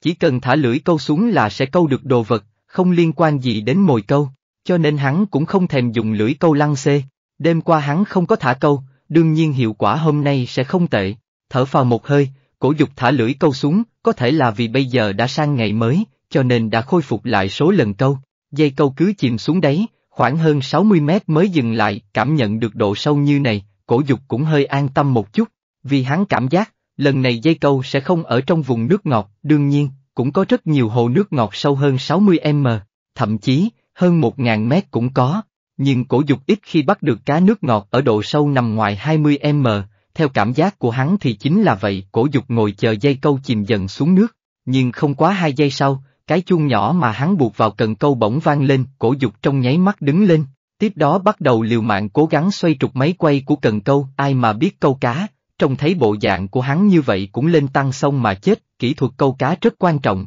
nhưng mà cổ dục không quan tâm, hắn dùng chính là sức mạnh thuần túy, dùng sức để kéo lên cá. Mà dựa theo cảm nhận từ dây câu, bên dưới xem ra cũng là một con cá, bởi vì nó đang giãy dụa rất kịch liệt, nhưng dù có giãy dụa đến đâu cũng không bằng được sức mạnh của cổ dục. Hắn cùng con cá dặn có khoảng nửa canh giờ mới cưỡng ép kéo con cá ra khỏi mặt nước, nhìn xuống giếng nước, cổ dục trông thấy một con cá màu xanh biếc, nhưng lại không chắc lắm, điều này khiến cổ dục càng mạnh tay. Rất nhanh con cá đã được kéo lên, bằng sức mạnh của hắn con cá bị kéo lên khỏi mặt giếng, bị hắn quẳng xuống mặt đất bên cạnh. Mà khi con cá bị kéo lên bờ, nó vẫn nhảy tanh tách, thực ra nó không bị mất nhiều sức, vẫn còn rất mạnh mẽ, chẳng qua là vì cổ dục quá mạnh mẽ, cứng rắn kéo nó lên mà thôi mà khi con cá xuất hiện rõ ràng, cổ dục hít vào một luồng khí lạnh, hắn thật sự không nghĩ tới, con cá này đúng là rất lớn nha chấm THEO quan sát, con cá này dài hơn 2m, theo lực kéo vừa nãy, con cá này nặng phải gấp 3 lần cá sủ vàng, nói cách khác thì khoảng hơn 150kg. May là hắn mới thay cần câu, bằng không thì chắc chắn bị gãy mất rồi, đây là cá gì? Nhìn giống như cá vẹt, nhưng miệng nó không cứng, mà là mềm. Để xem thử, cổ dục đi tới bên cạnh con cá, tay cầm điện thoại di động chụp hình nó một tấm, rồi bắt đầu tìm trên mạng. Rất nhanh sau đó, những thông tin liên quan đến con cá hiện lên trong điện thoại. Mà khi thấy những thông tin này, khóe miệng của cổ dục bỗng nhiên nhếch lên bởi vì con cá này tương đối đắt tiền nha. Mà chủ yếu, nó có thể bán được, lão Phương à. Làm rất tốt, rất tốt, tiền thưởng tháng này của hai chú cháu lão sẽ tăng gấp đôi, à không, tăng gấp ba.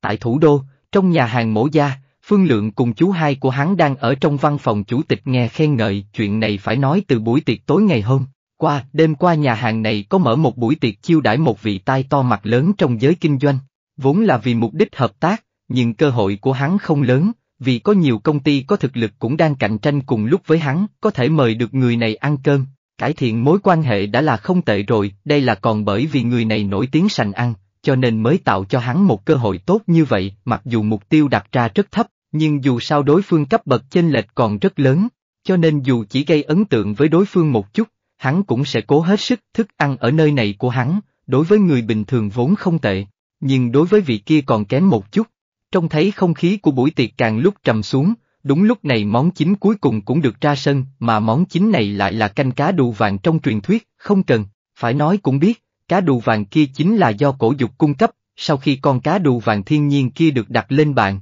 tất cả mọi người đều hít vào một luồng khí lạnh. Nên nhớ, một con cá đù vàng lớn như thế chỉ có thể gặp chứ không thể cầu. Đám người mắt sáng như sao, sau đó nếm thử một miếng. Không thể không nói tới tay nghề chú hai của Phương Lương tương đối tốt. Quả thực ông đã làm món ăn này tương đối đạt tiêu chuẩn và chân thực trong từng hương vị, cảm giác như tất cả đều đạt tới tuyệt phẩm, thứ này lập tức khiến cho vị thương nhân tai to mặt lớn kia say mê, thậm chí khi tan tiệc còn đem cá thừa gói vào trong túi để đem về. Đồng thời cũng để lại một câu, người hợp tác lần này chính là bọn họ, quả nhiên. Sáng sớm hôm nay, người kia liền đem bản hợp đồng tới công ty để ký kết. Mà sau khi ký xong hợp đồng, hắn cũng không nhìn được mà vô cùng mừng rỡ và vui vẻ. ngay lập tức quay về thưởng cho Phương Lượng cùng chú hai của hắn gấp ba lần tiền lương, khiến cho hai người bọn họ hết sức vui vẻ, mặc dù số tiền thưởng nhân ba đó không bằng số tiền mà lão sếp kiếm được, thậm chí chỉ là số lẻ bên trong số lẻ. Nhưng đối với bọn hắn mà nói, đây đã là một số tiền lớn rồi, Phương Lượng không rõ chú hai hắn kiếm lời được bao nhiêu, nhưng tháng này hắn được nhận 50,000 tệ không sai một đồng, nghĩ tới đây thôi cũng đủ khiến hắn phấn khích rồi, ông chủ. Ngài cứ yên tâm, sau này việc nhà bếp cứ yên tâm giao cho chú cháu tôi, chắc chắn sẽ không có vấn đề gì. Nén lại kích động, chú hai của Phương Lượng vỗ ngực tự tin, khẳng định sẽ không có vấn đề gì, ren ren. Nhưng mà, trong lúc chú hai của Phương Lượng đang phát biểu, điện thoại của Phương Lượng bỗng reo lên khiến mọi sự chú ý đều đổ lên hắn, xin lỗi, xin lỗi, nhìn thấy ánh mắt của hai người, Phương Lượng vốn muốn lấy điện thoại ra để tắt, nhưng khi thấy người gửi tin nhắn lại là cổ dục, bàn tay vốn định tắt liền dừng lại, có chuyện gì, chú hai khẽ nhíu mày, có chút bất mãn nói ra, dùng điện thoại trước mặt ông chủ, có phải hơi bất lịch sự rồi không, cái này, là thật à, nhưng khi hắn vừa nói xong, Phương Lượng kêu lên một tiếng, sau đó đưa điện thoại đến trước mặt chú hai với vẻ mặt hoảng hốt. Mà chú hai sau khi nhìn thấy thứ trong điện thoại cũng hít vào một luồng khí lạnh. Trông thấy dáng vẻ của hai chú cháu hộ, ông chủ lúc đầu đang rất hưng phấn cũng không khỏi nhíu mày một cái, sau đó cũng chụm đầu vào xem cùng, kết quả, hắn thấy một con cá lớn màu xanh biếc, là người làm hải sản đã lâu năm, vào Nam ra Bắc chỗ nào mà chưa từng đi, cho nên vừa nhìn qua hắn đã biết đây là cá gì. Nó là một trong những loại cá đứng đầu về nguyên liệu nấu ăn, cá sú mì, con cá này thật ra là một loài cá quý hiếm, được liệt vào danh sách những sinh vật có nguy cơ tuyệt chủng. Ở nước ngoài cấm đánh bắt loại này, nhưng ở Trung Quốc lại chẳng có quy định nào liên quan tới nó. Đối với cá sủ vàng bán là đi tù, còn con cá này buôn bán thoải mái nhà nước cũng chả thèm để ý, cùng lắm là bị đám dân mạng chỉ trích mà thôi, hơn. Nữa, nhìn kích thước con cá này khoảng 190kg, dài 2m53.th ấy được ảnh này, hắn không khỏi kinh ngạc. Đây là con quái vật gì, thứ này, cá này là bạn cháu muốn bán sao, chỉ vào con cá này, chú hai lắp bắp nói, bởi vì lão nhận ra ảnh chân dung của cổ dục, ừm. Có mua không, nhìn ánh mắt khiếp sợ của chú hai, Phương Lương nuốt một ngụm nước bọt, sau đó nhỏ giọng hỏi, mua, tất nhiên là mua. Hơn nữa còn mua với giá cao, người này chính là người đã bán cho cậu con cá đù vàng sao, tên này tuyệt đối không phải đơn giản như vậy, cùng hắn thiết lập quan hệ thì sau này nhà hàng của chúng ta sẽ không còn lo về nguyên liệu nấu ăn hiếm có, chẳng cần tới câu trả lời của chú hai, ông chủ bên cạnh đã hưng phấn kêu lên, tầm mắt của hắn không phải nông cạn, hắn biết người có thể bắt được cá đù vàng thiên nhiên hơn 5 kg, hiện tại lại có thêm một con cá môi công trên 150 kg, à. Đây là tên khoa học của cá sú mì, cái tên cổ dục này có thể lấy được những thứ tốt như thế này, chắc chắn không phải người bình thường có quan hệ tốt với người này, bọn hắn chỉ có trăm đường lợi chứ không có hại, vâng. Ông chủ, nghe được lời của ông chủ, Phương Lượng lập tức hồi âm, báo rằng nhà hàng của hắn muốn mua thứ này, loài cá sú mì này, mặc dù nghe nói nó càng nhỏ càng quý. Một cân là bán được tầm khoảng hơn một ngàn, nhưng con cá sú mì to như thế của cổ dục là loại cực kỳ hiếm thấy. Nếu như, mở một cái nghi thức trước cá, thì giá của nó không đơn giản chỉ là như vậy, cho nên sau khi bàn bạc, ông chủ cùng chú hai lập tức ra giá 800 ngàn, tương đương với 4,154 tệ cho 1 kg. Cổ dục cũng không nghi ngờ gì cái mức giá này, lập tức chốt đơn, sau đó hắn liên lạc với chuyển phát nhanh ở trên thị trấn, cá đù vàng đáng giá mấy trăm ngàn cổ dục còn có thể đưa đi được, nhưng con cá sú mì này thì hắn đành bó tay, bởi vì, hắn muốn nó còn sống, bên chuyển phát nhanh nghe được cổ dục muốn chuyển một con cá hơn 150kg đi thủ đô, thế là lập tức điều người tới nhận hàng, sụp oxy, điều chỉnh nước biển, đóng gói. Cổ dục bận rộn đến hơn 2 giờ chiều thì mới đưa được con cá lên xe. Vì muốn đảm bảo con cá sẽ không chết giữa đường, cổ dục còn cố tình pha thêm một chút nước giếng đổ vào, nhưng chỉ một chút thôi chứ không nhiều. Đồng thời xác nhận một cái đơn giao hàng bảo hiểm trị giá 800 ngàn, để chuyển phát nhanh họ giao trong đêm. Cổ dục cũng thở phào nhẹ nhõm khi thùng hàng chuyển phát nhanh rời thôn, khi 800 ngàn tiền bán cá về tay, hắn chắc cũng phải nói với bố mẹ việc hắn muốn ở lại đây. Chuyện này sẽ rất vui vẻ nha, chú ơi, đang lúc cổ dục mơ màng, đột nhiên có một tiếng gọi phát ra từ sau lưng. Chú ơi, nước này ngon lắm. Ừm, ừm, hai cô bé mỗi người cầm trên tay một lon nước, ngồi trên ghế salon nhà cổ dục, vui vẻ nói chuyện, người vừa gọi cổ dục không ai khác chính là cổ tú tú, vì trong thôn này làm gì có ai gọi hắn như thế đâu. Mà đi về cùng cổ tú tú còn có Lưu Phi Phi, cũng là một đứa trẻ trong thôn, theo lời của cô bé, ở trong thôn này năm nay có bốn đứa nhóc bảy tuổi, hai thằng con trai, còn hai đứa con gái thì đang ngồi ở đây, đương nhiên hai đứa cũng là bạn tốt của nhau. Buổi sáng, sau khi cổ tú tú đi ra ngoài, chính là đến rủ Lưu Phi Phi đi chơi. Hai đứa nhóc này chơi chán ở nhà rồi, nên mới tới nhà cổ dục chơi tiếp, ngon thì cũng uống ít thôi, chúng không tốt cho cơ thể của mấy đứa đâu. Xoa xoa đầu cổ tú tú và Lưu Phi Phi, cổ dục cũng cầm lấy một lon Coca-Cola rồi ngồi xuống ghế, vừa cười vừa nói là một dân thành thị. Trong tủ lạnh sao có thể không có kem và đồ uống, hôm qua khi hắn đi ra tiệm tạp hóa mua những đồ cần dùng cũng thấy mấy thứ đồ uống này. Không nói nhiều, trước hết cứ phải quất mấy két đã, rồi còn đủ loại kem, ít nhất phải mua chật cái tủ lạnh mới được, nhưng sau khi mua về và uống thử, hắn phát hiện nước giếng so với mấy thứ đồ uống này còn ngon hơn, nhưng, mua thì cũng đã mua rồi, thấy cổ tú tú và Lưu Phi Phi uống ngon lành, hắn cũng muốn làm thử tí, trong lúc đang uống, hắn suy nghĩ có nên mua bột hương trái cây về tự mình pha hay không, hắn tin rằng pha nước giếng với bột hương trái cây, hương vị chắc hẳn sẽ rất tuyệt vời, mà nghĩ lại, pha bột hương trái cây cũng không bằng uống trực tiếp nước ép trái cây, ừm. Càng nghĩ càng thấy phiền ta, nghe cổ dục nói, hai cô bé cũng kêu lên, so với dáng vẻ thoải mái, có chút khùng khùng của cổ tú tú thì Lưu Phi Phi lại là người hướng nội hơn, hay thẹn thùng, cô bé ngồi bên cạnh, một bên quan sát nhà cổ dục, một bên quan sát hắn, một bên nhìn con vua núi đang bị nhốt ở trong lồ nờ dê kia. Mặc dù trước đó cô bé cũng đã từng đến nhà cổ dục cùng Tú Tú, nhưng khi đó là nhà chưa có gì, không giống như bây giờ lại nhiều đồ ngon như thế, đúng, rồi, mấy đứa giúp chú chuyện này, sau khi hai đứa uống nước xong, cổ dục dẫn chúng đến sân sau. Tiếp theo dạy mấy đứa nhỏ cách dùng cần câu, đúng vậy, cổ dục muốn thử nghiệm xem cái giếng này có hiệu quả đối với người khác hay không, hai đứa nhỏ học rất nhanh, Chẳng bao lâu đã biết cách thả dây và thu dây, cổ dục quan sát mấy lần thả dây cũng chỉ xuống được có 6, 7 mét, hơn nữa ngoài bùn đất ra thì chẳng câu lên được thứ gì. Thấy vậy hắn không khỏi thở vào một cái, quả nhiên chỉ mình hắn mới dùng được cái giếng này, nghịch cần câu một hồi, hai đứa cũng hết hứng thú nên đem cần câu trả lại cổ dục. Mà khi hắn cất đồ xong, từ trên tầng hai đi xuống đã thấy hai đứa chạy chơi bên trong sân sau nhà hắn rồi, sân sau nhà cổ dục rất lớn. Theo như hắn được biết, nhà hắn tất cả có hơn 3,000 mét vuông, bằng một nửa cái sân đá bóng, căn nhà ở giữa, chia thành sân trước và sân sau, tổng diện tích ngôi nhà chỉ là 300 mét vuông, tất cả có hai tầng. Tầng một có phòng khách rộng 100 trăm mét vuông, còn có thêm ba gian phòng. Một phòng ăn, hai phòng vệ sinh, một cái lớn một cái nhỏ.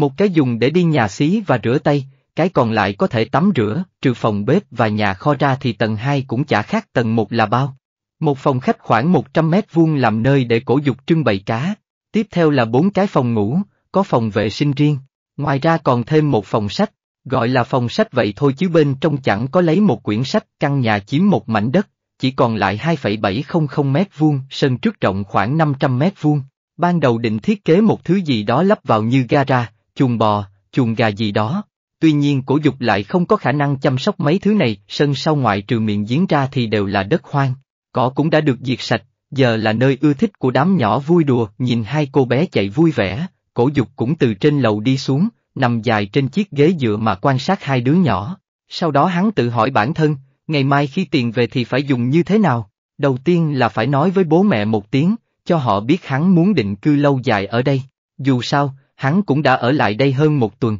Dựa theo kế hoạch ban đầu, thì lúc này hắn hẳn đã quay lại thành phố mới đúng, việc này chắc chắn phải giải thích một chút, Vấn đề thứ hai liên quan đến bức tường bao sân vườn, vì an toàn là trên hết. Tiếp theo còn phải xây bên cạnh giếng một căn phòng nhỏ, cũng vì an toàn là trên hết, chú ơi, chú ơi, đang khi cổ dục suy nghĩ làm cách nào để sắp xếp ổn thỏa cái sân này, thì cổ tú tú cùng Lưu Phi Phi ngừng đuổi bắt, rồi chạy đến hai bên trái phải của hắn, khác à, hay là vẫn còn đói bụng?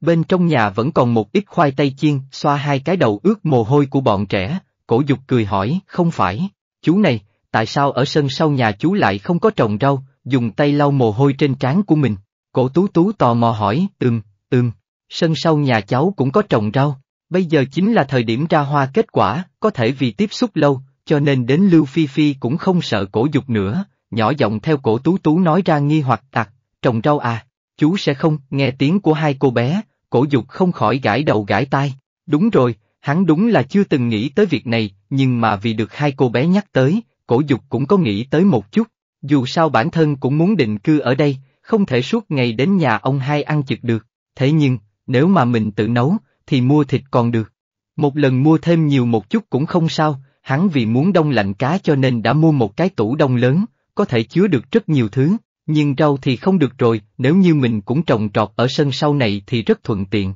Hơn nữa, chủ yếu là vì nước giếng kia có tác dụng với cá, với bản thân, cùng với con chó nữa, cho nên không chừng cũng có hiệu quả với thực vật. Được hai cô bé nhắc nhở, cổ dục cũng có một chút suy nghĩ này, cái này thì đơn giản, cháu cũng từng xem ông quốc đất, cho nên có thể giúp đỡ. Cháu, cũng thế, cháu có thể giúp. Nghe thấy cổ dục nói, hai cô bé cũng vui vẻ giơ nắm tay lên, nói nghe được hai đứa nhỏ nói như thế, cổ dục cũng cười cười rồi nghiêm túc gật đầu một cái. Được rồi, vậy thì ngày mai bắt đầu cải tạo lại sân sau, tuy nhiên nếu muốn cải tạo, vậy hắn không định cải tạo nhỏ, mà phải chuẩn bị làm lớn một chút. Buổi sáng sớm, khi thủ đô vốn đang yên tĩnh bắt đầu dần trở nên náo nhiệt, ở sân sau nhà hàng hải sản cũng có một đám người đang lo lắng chờ đợi, mấy người này chẳng phải ai khác, chính là ông chủ nhà hàng, Phương Lượng, chú hai và một đám nhân viên. Bọn họ đều đang chờ đợi con cá sú mì kia được giao đến, khoảng hơn 9 giờ rưỡi sáng, một chiếc xe giao hàng của Thuận Phong đi vào sân sau. Bọn họ cũng lập tức hướng dẫn xe đổ vào vị trí chỉ định. Sau đó mở cửa sau của xe ra, từ từ đem chiếc thùng từ trên xe xuống. Không ít người có mặt ở đó tim như muốn rớt ra ngoài, bởi vì trong cái rương lúc này chính là con mèo của Srin, người bên ngoài không biết bên trong hiện tại là như thế nào. Hoặc giải thích đơn giản là, một con mèo được nhốt bên trong chiếc hộp, bên trong hộp có một lọ thuốc độc với 50% nó được phát tán ra ngoài. Người bên ngoài sẽ không thể biết được chính xác trạng thái của nó bên trong, có thể nó đã chết, hoặc có thể nó vẫn còn sống, và chỉ khi nào mở ra thì mới thực sự biết được trạng thái của nó lúc đó, mở đi, ông chủ nuốt nước miếng một cái rồi ra lệnh. Chú hai của phương lượng bên này nghe lệnh cũng cầm một con dao tiến lại gần, cẩn thận mở cái thùng xốp ra. Sau đó xuất hiện trước mắt mọi người là một cái túi chứa nước được bơm căng bằng máy nạp oxy. Nhìn thấy cái túi khí không có lỗ hổng mọi người rốt cục cũng thở phào một hơi ở dưới cùng, con cá vẫn đang sống khỏe mạnh trước mắt tất cả mọi người thấy nó ở đó rồi, đám người đều mỉm cười. Sau đó bọn họ bắt đầu điên cuồng chụp ảnh, phải biết rằng, con cá sú mì lớn như vậy là cực kỳ hiếm thấy, đúng là quá tuyệt vời, chuyển vào. Sau khi được chuyên gia kiểm tra xong xuôi, xác định rằng không có vấn đề gì với con cá, ông chủ cũng vung tay lên, ra lệnh đem con cá vào bên trong nhà hàng. Hắn hiện tại đang nghĩ cách, nên lợi dụng con cá này làm cái tin tức gì, để có thể thu hút được mọi người đến đây xem cá, dùng con cá này để đánh bóng tên tuổi cho nhà hàng và khách sạn của mì nhờ chấm NGHI tới đây, hai mắt lão đều sáng rực, thứ này có thể kiếm được bộn tiền, cùng lúc đó, cổ dục cũng nhận được 800.000 tiền bán cá, cổ dục nhìn số tiền này mà cười. Hắn biết kế hoạch của mình có thể bắt đầu được rồi, hắn ăn hết bữa sáng, rồi nhìn sang phía chú ba, chú ba, chú có biết nhà nào nhận trang trí nội thất không? Nghe thấy câu hỏi của cổ dục, chú ba không khỏi thắc mắc mà nhìn về phía hắn, cháu muốn tìm người trang trí nội thất làm gì? Chú ba tò mò hỏi, không thể không nói, hiện tại hắn nhìn cổ dục giống như là một đứa trẻ ham chơi, ưa thích chơi đùa lung tung. Vừa mới về được mấy ngày đã muốn ở lại đây lâu dài, còn mua đồ điện rồi nuôi cả chó, không phải là cháu chuẩn bị định cư lâu dài ở đây sao? Nhưng mà cháu thấy cái tường bao ngoài kia hơi thấp, mà chú cũng biết nơi này đông người, cho nên cần phải chú trọng sự riêng tư. Cháu chuẩn bị xây nó cao lên một chút, tiện cải tạo luôn cái sân trước và sân sau một thể.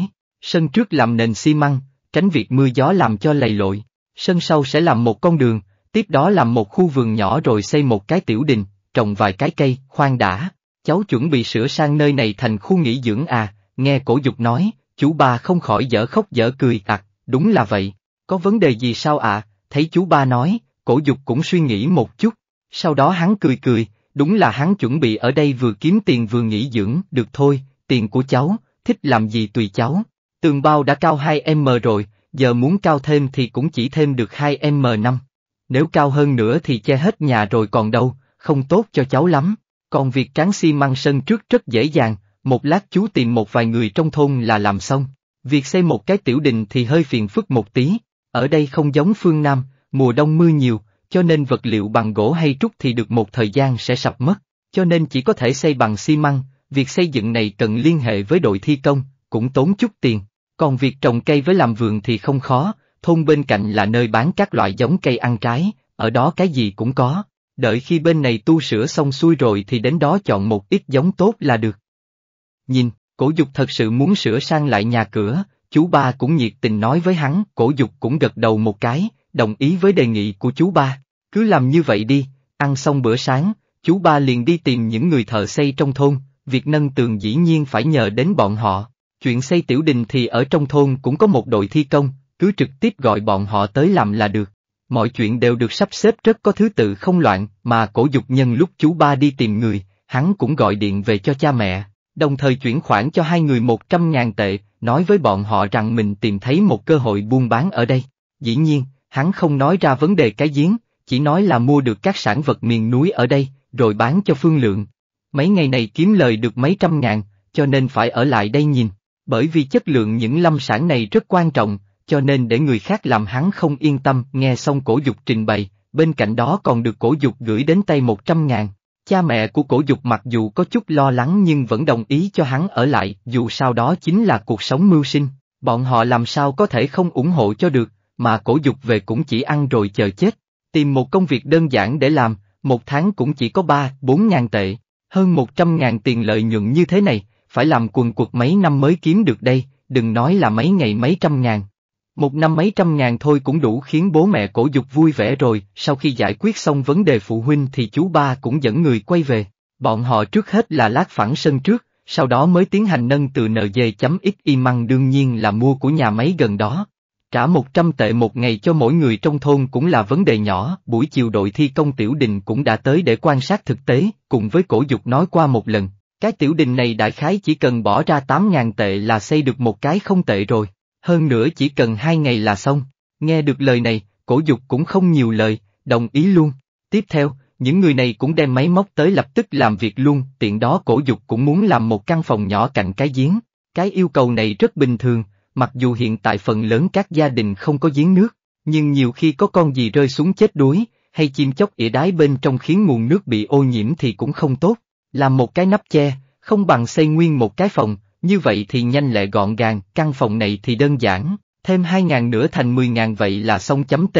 ôn cổ gia vốn tĩnh lặng, vì sự xuất hiện của cổ dục mà một lần nữa náo nhiệt, hôm nay cổ tú tú và Lưu Phi Phi cũng tới chơi. Hai cô bé đi theo sau cổ dục như hai sếp nhỏ đi giám sát, thực ra hai đứa cũng đang giám sát nơi này. Vì đây không chỉ là nhà của cổ dục, mà đây cũng là căn cứ bí mật của hai đứa, sân trước và tường rào mất một ngày là xong hẳn, giờ chỉ cần đợi nó khô lại. Bởi vì thời tiết đông bắc khô ráo cho nên tường khô rất nhanh, thậm chí còn chút vết trạng, thỉnh thoảng dì ba của hắn phải cầm vòi nước để xịt vào tường để giữ ẩm. Đối với ngôi tiểu đình kia, cũng hoàn thành đơn giản chỉ là chân đế và bốn trụ, trụ được làm bằng bê tông cốt thép bo tròn rồi đổ hỗn hợp sỏi và xi măng vào trong. Bởi vì kích thước tiểu đình yêu cầu nhỏ nên trụ cũng không cần phải làm to, nếu không phải chờ xi măng khô thì hôm nay đã có thể làm đến mái tiểu đi nhờ chấm NH ưng cứ như thế thì ngày mai, làm mái tiểu đình cũng không thành vấn đề, trong hai ngày ngắn ngủi, quá trình cải tạo sơ bộ nhà của cổ dục cũng đã hoàn tất toàn bộ buổi tối ngày thứ hai. Hắn đứng tựa ở cửa sổ nhìn ra ngoài sân sau, cổ dục không khỏi mỉm cười, thực sự cảm giác càng lúc càng giống nhà. Chà, hoàn hảo, sáng sớm, khi cổ dục bị tiếng động vật trong thôn đánh thức, hắn theo thói quen đi đánh răng rửa mặt, sau khi cho vua núi uống nước, hắn đi ra phía sân sau. Mặc dù hiện tại trông vẫn trơ trọi, nhưng đã khá hơn những ngày trước rất nhiều. Lúc này, một con đường được trải bằng xi măng và đá sỏi nằm ngay chính giữa sân sau, cũng không hẹp lắm. Sau này có vận chuyển thứ gì thì cũng dễ dàng hơn, ví dụ như câu được cá lớn hay thứ gì đó nặng nề. Bên trái con đường chính là tiểu đình, đây là nơi nghỉ ngơi hóng mát của cổ dục. Tuy nhiên, ở nông thôn rất xem trọng phong thủy, cho nên cái tiểu đình này được xây hình tròn, còn có các góc nhọn khá bất tiện. Bên cạnh tiểu đình đã được đào sẵn một cái hố to, khi nào muốn trồng cây thì đặt vào là được, ở bên phải con đường là nơi hắn chuẩn bị trồng rau, rộng khoảng 1.000 mét vuông nz.hai ngày vừa rồi ngoài giám sát ra, cổ dục còn học được một ít kiến thức khai khẩn đất đai,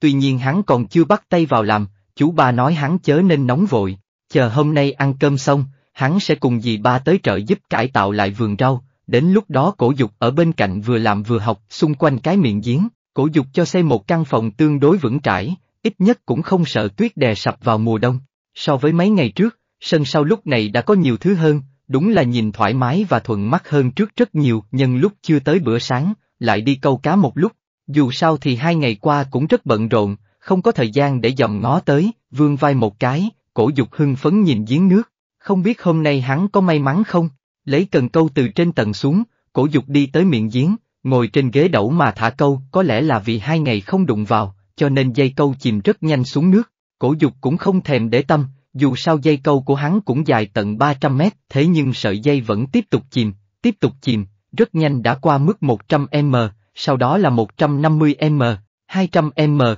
cũng giống như hôm trước cổ dục câu được kỹ năng chiến đấu, cảm giác dường như không có gì dính câu. Điều này khiến sắc mặt cổ dục không khỏi có chút nhăn nhó, cuối cùng 300 mét dây đã thả ra hết 290m. Cổ dục bất đắc dĩ vẫn tiếp tục thả hết dây câu, xem ra 300 mét này vẫn chưa đủ dùng, cổ dục gãi gãi đầu, lẩm bẩm. Tuy vậy, vấn đề này để giải quyết sau. Hiện tại hắn cần thu dây về, mà khi vừa quay trục mấy câu hắn cảm giác dây câu lập tức trùng xuống. Hắn cũng biết đó là đồ vật, tuyệt đối không phải cá, bởi vì nó không hề dãy dụa, theo như số mét dây câu hiện tại, làm gì có khả năng xuất hiện tôm hùm, bào ngư, dù sao thì cũng quá sâu, hơn nữa còn không có đụng tới đấy, vậy thì đây là cái gì? Hắn thực sự cảm thấy tò mò, cổ dục vừa thu dây câu, vừa đang tự hỏi, nếu thứ câu lên là kỹ năng thì nó là kỹ năng gì? Dù cho kỹ năng gì đi nữa, hắn cũng sẽ chấp nhận, vừa nghĩ, tay cổ dục thu dây lại càng nhanh. Để mà nói thì thực sự 300 mét rất dài, nhưng cứ thu lại thì rồi cũng sẽ hết.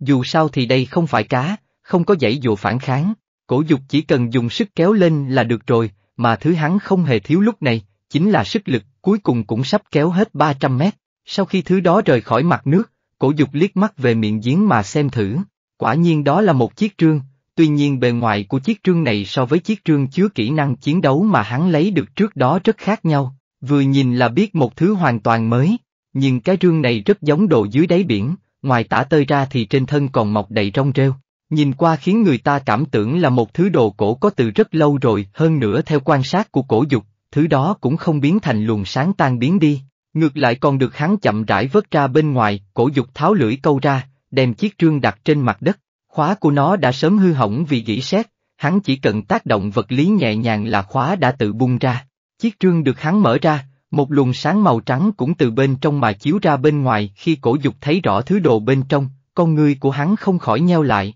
hô hấp cũng trở nên dồn dập, vì đánh chết hắn cũng không nghĩ bên trong chiếc trương lại là một bình sứ, bình, sứ này cao chừng 30cm, cũng không gọi là nhỏ, nhưng cũng không được tính là lớn, ở phía trên được tô điểm hoa văn hình cây mẫu đơn, còn thêm một vài dây leo, lật ngược bình sứ, ở bên dưới có bốn chữ lớn, được rồi, cổ dục cũng không hiểu được, bèn cầm điện thoại dùng chức năng chụp ảnh tra tiền. Cuối cùng phát hiện ra bốn chữ này là Vĩnh Lạc chế tác, cũng chả biết ai viết chữ này mà trông rất khó coi, lớn nhỏ không đều, còn siêu siêu vẹo vẹo, khiến cho người khác có cảm giác không theo quy tắc nào. Nhưng thực ra cổ dục không biết, chính loại này mới là hàng siêu cấp hiếm có. Phải biết trước đây nghệ nhân làm đồ sứ thường không có học vấn, dùng bút viết ra được mấy chữ này đã là đẳng cấp lắm rồi, còn muốn đòi hỏi đẹp để tinh tế gì nữa, về cơ bản, tất cả những đồ sứ tinh tế đều là đồ giả. Hơn nữa những đồ sứ mà có sáu chữ ghi năm chế tác bên trên, cũng là đồ giả nốt. Không phải như vậy là không có đồ thật,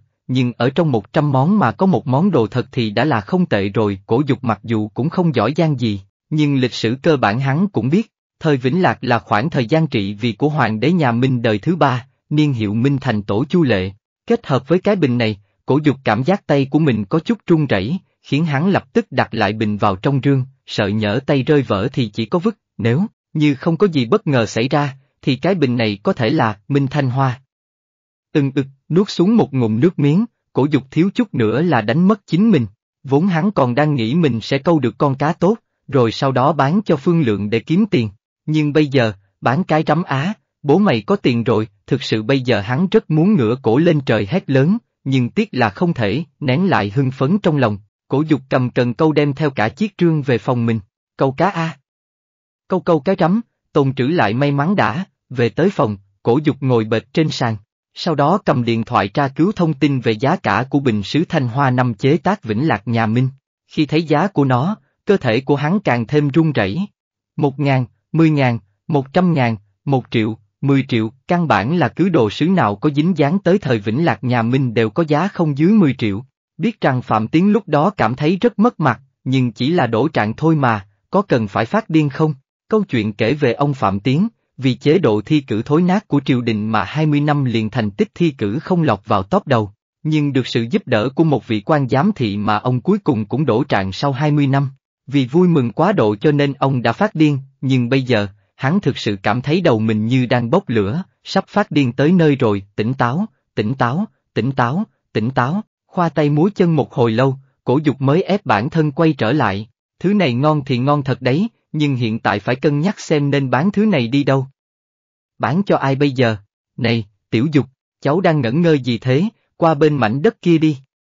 Nghe tiếng gọi của dì ba, cổ dục giật mình, nhìn đống đất trước mặt được mình đào xới, hắn không khỏi nở nụ cười. Sau đó lại sang một miếng đất khác, lúc này hắn đang cùng dì ba quốc đất, sau khi lấy được bình sứ thanh hoa thời vĩnh nhạc nhà Minh, cổ dục đã phải suy nghĩ rất nhiều biện pháp, thứ đầu tiên nghĩ tới đương nhiên là những phiên đấu giá mà hắn đã xem nhiều trước đây, còn chưa kể tới việc gửi đồ đến những phòng đấu, giá trong nước ở thủ đô, Thượng Hải hay Quảng Châu, thì riêng tiền hoa hồng cho các phòng đấu giá này đã mất một khoản lớn. Sau khi lấy được tiền đấu giá còn phải nộp thuế thu nhập cá nhân, bán vật này xong, một nửa số tiền này sẽ không chảy vào túi hắn, thật sự là quá thua thiệt, đồng thời muốn hút được giá cao ở phiên đấu giá thì phải làm mạnh khâu quảng bá. Bình thường cần cung cấp thông tin trước ít nhất là nửa năm, nếu cổ dục cần bán gấp thì cũng phải mất 3 tháng, đã mất một nửa tiền, lại còn không có cách nào lập tức đổi đồ thành tiền. Đúng là quá thiệt thòi, cho nên, sau khi xem xét tình hình việc đấu giá, cổ dục liền bỏ qua vấn đề này, không bán đấu giá thì bán cho người khác.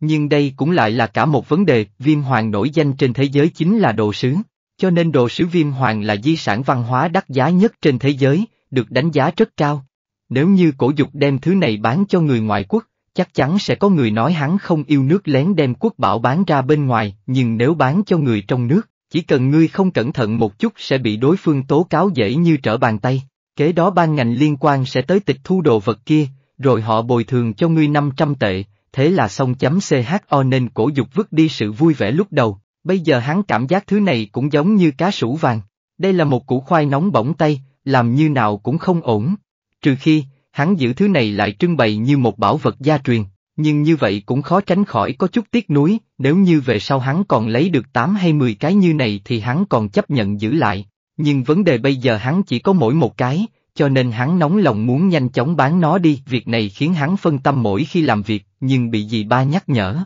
cổ dục cũng bình tĩnh lại, tập trung vào công việc quốc đất, còn lý do tại sao muốn quốc đất, thì bởi vì đây là việc rất quan trọng. Nếu không quốc lên thì trồng cây cũng không phát triển được, làm tơi đất mới có những khe hở, từ đó thực vật mới có thể nảy mầm và mọc rễ qua những khe hở này. Nhưng mỗi khi thực vật trưởng thành, rễ của chúng đều khiến cho đất kết lại thành một khối, vì như vậy chúng mới có thể hấp thu được nước và các chất dinh dưỡng NG.CHO nên mỗi khi trồng trọt đều phải đào xới đất, hơn nữa cần đập nhỏ những cục đất to ra, vứt những viên đá cứng đi đừng thấy cổ dục sức khỏe tốt, tốc độ nhanh mà ảo tưởng. Những việc nhà nông này, hắn thực sự không bằng gì ba. Một mảnh này tầm ba mẫu, ban đầu phân chia mỗi người một mẫu, phần nhiều thuộc về chú ba, nhưng thực ra khi ba mẫu đất đã xong, cổ dục mới làm được một nửa mẫu là đã không tệ rồi, dù sao hắn cũng là trai tráng thành phố. Hai chú gì chỉ cười mà không nói, sau khi quất đất chính là trồng rau. Ở nhà ông nội hai của cổ dục có hạt giống sẵn, công việc còn lại thì rất đơn giản, dì ba về nấu cơm, cổ dục ngồi sổng xem chú chia sẻ kinh nghiệm, trồng rau rất đơn giản. Trước tiên tạo một hố nhỏ rồi cho hạt giống vào, đắp đất lại rồi tưới nước lên là được, đa phần cây trồng là theo cách đấy, nhưng cũng có nhiều loại cây trồng thì cần phải ươm cây con, ví dụ như, phần lớn các giống dưa và đậu thì cần phải có cây con, cổ dục xem chú ba vừa làm, vừa ghi nhớ lời chú nói, có thể là vì hắn uống nhiều nước giếng, cho nên trí nhớ của hắn tốt hơn nhiều so với trước đây, một bên làm một bên sửa, rất nhanh đã đến giữa trưa, cổ dục lại sang nhà ông nội hai ăn, chiều đến hắn lại bận rộn với cái vườn rau của mì nhờ chấm THEO như chú ba nói, mặc dù mảnh đất nhà cổ dục trước kia không có gì, nhưng mà có dại vẫn mọc đầy, e rằng độ phì nhiêu của đất hiện tại không còn đủ, cho nên cần phải bón phân cho đất, mà chắc chắn cổ dục không có phân bón, cho nên hắn cũng đã hỏi cổ dục xem có cần phân hữu cơ không. Chính là thứ trong hầm biogas phân tươi, đùa sao? Cổ dục đương nhiên là không cần thứ này, hắn có nước giếng kia thì cần gì phải bón phân, buổi chiều hắn đi kiểm tra kỹ càng một lần, đảm bảo mỗi một hạt giống đều được tưới nước đầy đủ rồi mới trở về nghỉ ngơi. Cổ dục nằm trên giường, tra thông tin liên quan tới việc bán đồ sứ, rất nhanh trời đã tối. Không thể không nói cuộc sống sinh hoạt ở đây rất nhanh, rất nhàn nhã, cảm giác còn chưa làm cái gì hết, thì một ngày liền đã trôi qua chấm SAU khi đi ăn cơm chực xong, cổ dục quyết định tạm thời không cần lo nghĩ, cứ câu cá đã, hắn không biết khi nào mới có thể ra tay với chiếc bình hoa này, cho nên cứ kiếm tiền trước đã. Nghĩ tới đây, cổ dục một lần nữa cầm cần câu xuống bên cạnh giếng, ngồi lên trên chiếc ghế nhỏ, đem dây câu thả xuống giếng nước, nhưng mà, lần này lại khiến cho hắn vô cùng bất ngờ, mới hạ dây câu được có 3M thì đã dừng lại. Hắn bối rối, phải biết giếng này không chỉ sâu có 3M, cái quái gì vậy, chẳng lẽ sau khi câu được bình sứ thanh hoa thì hắn đã dùng hết độ may mắn rồi sao, trong lúc hắn đang không, hiểu gì thì cần câu bỗng nhiên trùng xuống, theo như lực phản kháng thì đây đích xác là một con cá con, sẽ không phải là một con cá chết bên trong giếng chứ, cổ dục lẩm bẩm một câu, bất đắc dĩ phải đem 3M dây câu thu lại, lưỡi câu ra khỏi nước, thế nhưng vừa rời khỏi mặt nước, cổ dục đã thấy được một thứ màu đỏ, mà cổ dục cũng bối rối khi nhìn thấy cái thứ màu đỏ kia. Sau đó hắn kéo dây câu lên thật nhanh, khi con cá này ra khỏi giếng nước, hắn cũng choáng váng, đúng như hắn nghĩ, con cá này không phải cá biển, mà là cá nước ngọt, nhưng ai nói cá nước ngọt không đáng giá. Đây chính là một cái tác vào mặt cổ dục, bởi vì con cá này theo như cổ dục được biết, chính là vua của cá nước ngọt, đương, nhiên không phải vì nó hung dữ, mà vì nó đắt tiền, đây là một con cá rồng đỏ, hơn nữa còn là con cá rồng đỏ tương đối tốt, thân dài khoảng 60cm, màu đỏ rực rỡ cực kỳ đẹp mắt, không biết con cá rồng đỏ này thuộc chủng loại gì, dù sao cổ dục cũng chưa nuôi cá cảnh bao giờ, trước tiên cứ kệ nó, tiếp tục câu không chừng sẽ được nữa. Bình sứ thanh hoa không bán được, không có nghĩ là mấy thứ này cũng thế, đem lưỡi câu tháo khỏi miệng con cá rồng đỏ, hắn ném nó vào cái bồn chứa nước giếng mà hắn đã sớm chuẩn bị từ trước, sau đó tiếp tục câu, không biết có phải mồm hắn hên hay là bắt kịp con nước, mà liên tục sau đó hắn câu lên được năm con cá rồng đỏ có ngoài hình giống với con trước đó. Sau đó thì cá bắt đầu thay đổi, đầu tiên là cá mú sao xanh giá hơn một ngàn tệ một con, tiếp đó là cá mú đỏ rồi đến cá mú cọp. Cá mú bông, cá chim, cá hồi vân, khi cổ dục câu lên cá hồi vân thì lập tức dừng lại, những con còn lại không đáng giá bao nhiêu tiền, không đáng để tốn điểm may mắn, nhìn bồn cá lớn bên cạnh, cổ dục cũng bắt đầu vận chuyển đem chúng đi, nhất là sáu con cá trồng đỏ hắn câu được lúc đầu, hắn cố ý để chúng lại ở trong bể cá riêng, có nước giếng thì bọn chúng sẽ không chết, chỉ cần dưỡng mấy ngày, đợi vết câu trên miệng liền lại thì cổ dục có thể đem bán được rồi, đinh. Chúc mừng câu được kỹ năng, siêu đầu bếp. Hả?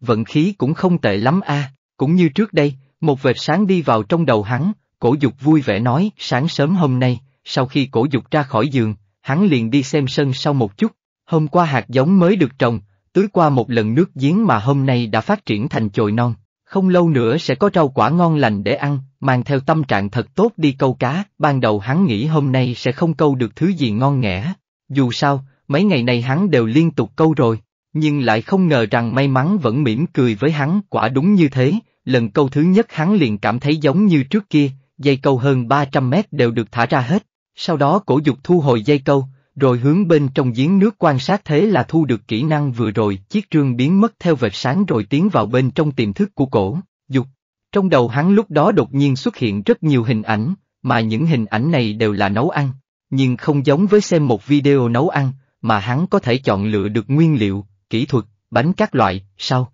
khi tiếp nhận toàn bộ hình ảnh, cổ dục cảm thấy đầu mình hơi phình to, nhưng vẫn không thể nghi ngờ, giống như kỹ năng chiến đấu, hiện tại hắn cũng đã trở thành siêu đầu bếp, tài nấu nướng bây giờ của hắn so với thế giới, hắn nhận thứ hai thì không ai dám đứng thứ nhất. Đúng là hắn có sự tự tin như vậy, muốn thử một chút, sau khi tiếp nhận toàn bộ tin tức, cổ dục có chút thèm thuông. Loại cảm giác ngứa ngáy trong lòng này khiến hắn không tập trung câu cá được, nghĩ vậy, hắn cũng không xoắn suýt nữa. Đem cần câu cất về phòng rồi ra bể cá ở lầu 2, nếu như có một người đủ hiểu biết ở chỗ này, không cần đến cá sủ vàng và mấy con cá rồng đỏ, mà chỉ cần thấy những thứ trong bể lớn cũng đủ cho hắn bị dọa sợ bởi vì, bên trong bể cá lớn của cổ dục có quá nhiều thứ hỗn tạp các loại cá biển, sông, hồ gì hắn cũng đều có ở đây. Ngoài ra thì còn có cua, bào ngư, tôm hùm đủ kiểu diễu võ dương oai trong bể cá, những con cá này nếu muốn dưỡng cùng một chỗ, chỉ riêng nước thôi cũng là một vấn đề cực lớn. Nhưng đối với nước giếng thần kỳ này thì có thể nuôi dưỡng mọi loại cá, kế tiếp là những con vật này cũng không đánh nhau, cũng không cần ăn uống, chỉ cần dinh dưỡng trong nước giếng là đủ cho lũ này sống tốt rồi, nhìn đám trước mắt này, cổ dục có chút suy nghĩ. Khi trước, thì chúng là những cục tiền biết bơi, nhưng lúc này khi hắn nhìn vào chúng, lại trở thành từng món ăn hấp dẫn, đảo mắt một vòng, cổ dục quyết định nếm thử một con cá mú, lại nhìn xung quanh một hồi, ánh mắt cuối cùng đặt lên thân con cá mú sao xanh chấm con cá này là một loại cá mú rất quý, so với cá mú đỏ sao xanh điểm khác biệt chính là loài cá này có màu trắng. Hơn nữa, nó to hơn cá mú đỏ sao xanh một chút, giá thị trường dao động khoảng 400 tệ nửa kg. Hôm qua cổ dục bắt được con cá mú sao xanh này khoảng chừng 1,5 kg, tương đương với 1,000 tệ. Nếu như là trước kia, chắc chắn hắn sẽ nhịn mà không ăn nó, một là vì tiền, hai là vì hắn không cho rằng mình có thể nấu nó thành món ăn ngon được. Dì ba cũng không có khả năng chế biến ngon, như vậy cũng đâm ra lãng phí cho nên khi thèm hắn cũng chỉ dám ăn cua. Nhưng hôm nay hắn muốn thử con cá này một chút, cổ dục trực tiếp vớt con cá ra khỏi bể. Mặc dù chỉ qua một đêm, nhưng hắn cảm nhận được con cá lúc này sức sống mạnh hơn trước, con cá quẩy đuôi cũng mạnh hơn, còn nặng hơn hôm qua một chút, quả nhiên nước giếng này có khả năng bồi dưỡng sinh vật lớn nhanh cảm nhận xong con cá, cổ dục khẽ cười một tiếng, sau đó đem nó vào trong bếp, nhưng khi vào tới bếp rồi, cổ dục không khỏi nhíu mày một cái, đồ làm bếp nhà cổ dục cũng là thứ mà hắn mua tạm thời hoặc được tặng, mặc dù nhìn những con dao kia không đến nổi tệ, nhưng cái không tệ trước đó ở trong mắt cổ dục lúc này lại không ra cái gì cả, đối với một người đầu bếp, dao làm bếp chính là một cánh tay thứ hai, dao làm bếp cũng rất quan trọng, về cơ bản chia làm hai loại là Trung Hoa và phương Tây. Mà cổ dục là siêu đầu bếp, cho nên quen với cả hai lối Trung Tây, cho nên những loại dao mà hắn cần cũng rất nhiều, dao kiểu Trung Hoa, dao phay, dao sắc lát, dao chặt xương, những thứ này hắn đều cần, cùng với dao làm bếp kiểu phương Tây, dao cắt bánh mì, dao róc xương, dao răng cưa, dao phi lê, dao đa năng cũng đều cần nốt,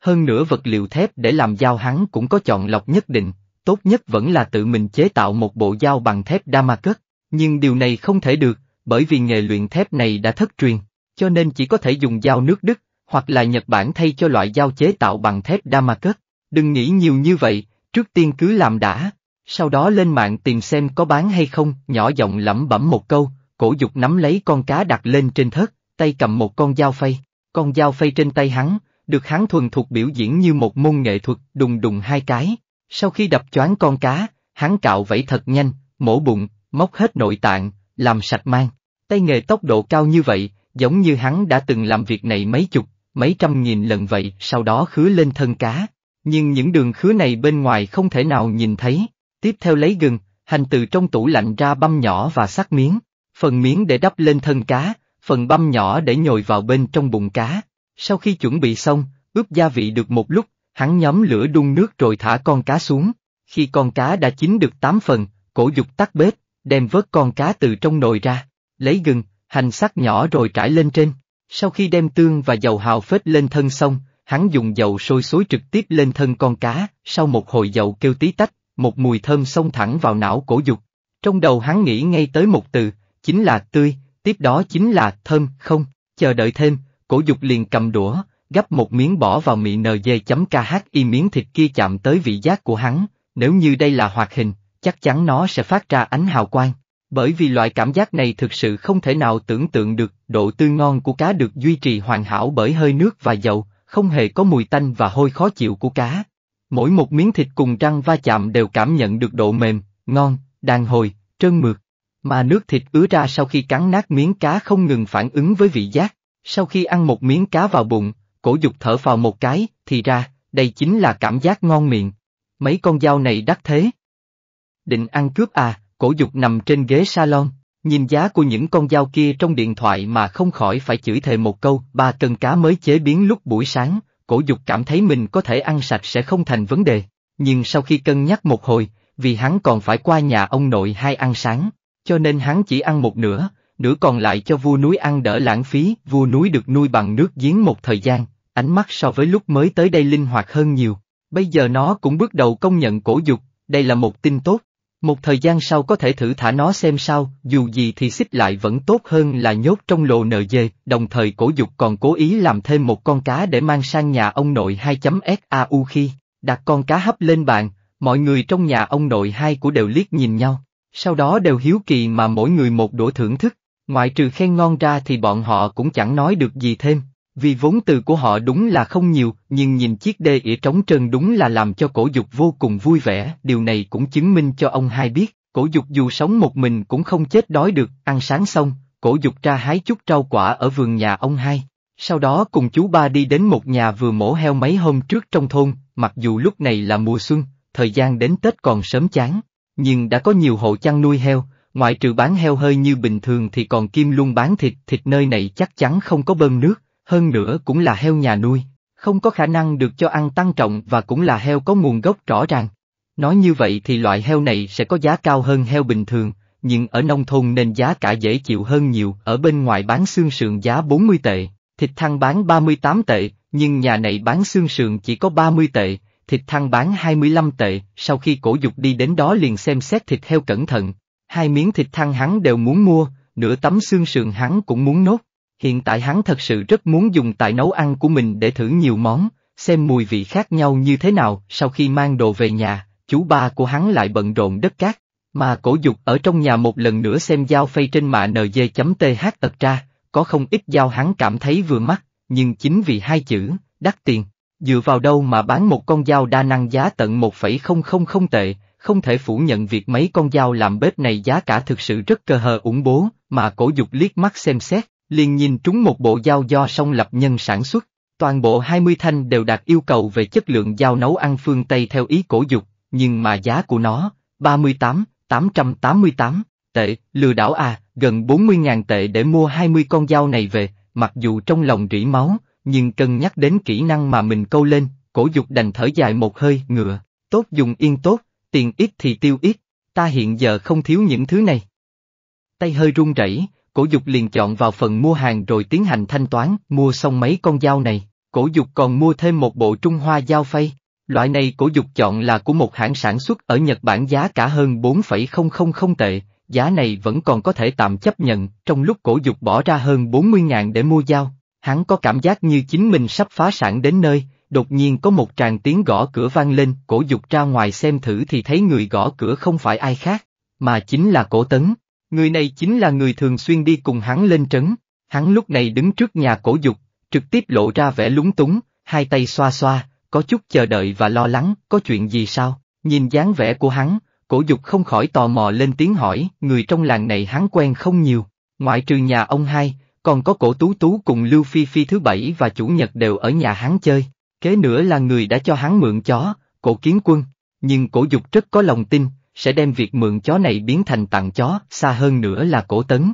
người đã đi cùng hắn nhiều lần lên thị trấn và giúp đỡ hắn, nhưng cổ tấn lúc này, rõ ràng dáng vẻ có chút xoắn xuýt, nghe thấy cổ dục hỏi, cổ tấn cũng gấp gáp nói, cái này, không biết lần trước cá mà cậu cho tôi có còn không? Tôi muốn mua mấy con. Mua cá? Mua cá thì anh phải tìm chú ba mới đúng chứ, chú ba theo lời cổ dục có hai người. Một người là con trai của ông nội hai ở nhà bên cạnh, một người là chú ba mở ao cá câu dịch vụ ở trong thôn. Nhưng mà bây giờ không cần giải thích nhiều lời, cổ tấn của hiểu ý của cổ dục là nói tới ai, cá bên kia của chú ba cũng là cá nuôi. Mặc dù mấy loại cá đó được hắn cho ăn những thứ không tệ, nhưng mà hương vị chỉ ở mức trung bình. Nếu ngày thường thì tôi đã qua đó bắt cá, nhưng hiện tại đang có chút vấn đề, sờ ra sau gáy, cổ tấn hơi nhức đầu nói. Sau đó kể lại đơn giản chuyện đã xảy ra chấm CHUI là như thế này. Lần trước sau khi hắn giúp cổ dục lấy xong cần câu, cổ dục có cho hắn một con cá tầm. Con cá này kích thước cũng không nhỏ, nặng khoảng 3-4 kg, lúc hắn vứt lên xe cũng không để ý lắm. Lúc chiều hắn đi vận chuyển hàng, dù gì thì xe của hắn mua là để vận chuyển bán trái cây, khi hắn tới chỗ vựa trái cây để giao hàng, thì mới phát hiện ra hôm nay chính là sinh nhật của ông chủ cửa hàng. Hắn cũng không thể tay không đi đến, mà cũng không nỡ bỏ tiền ra. Thứ hai là, sinh nhật người trưởng thành, làm gì có ai muốn nhận tiền, đang lúc buồn rầu thì hắn chợt nhớ ra, buổi sáng cổ dục có cho hắn cá mà tới giờ vẫn chưa chết. Thế là hắn liền đem con cá tầm kia ra ngoài, người chủ vừa trái cây cũng biết đó là một con cá tầm. Thứ này cũng có không ít người biết, nhưng không nhiều. Con cá đó vừa vặn còn sống, hắn liền đào một cái rãnh nước rồi thả nó vào nuôi.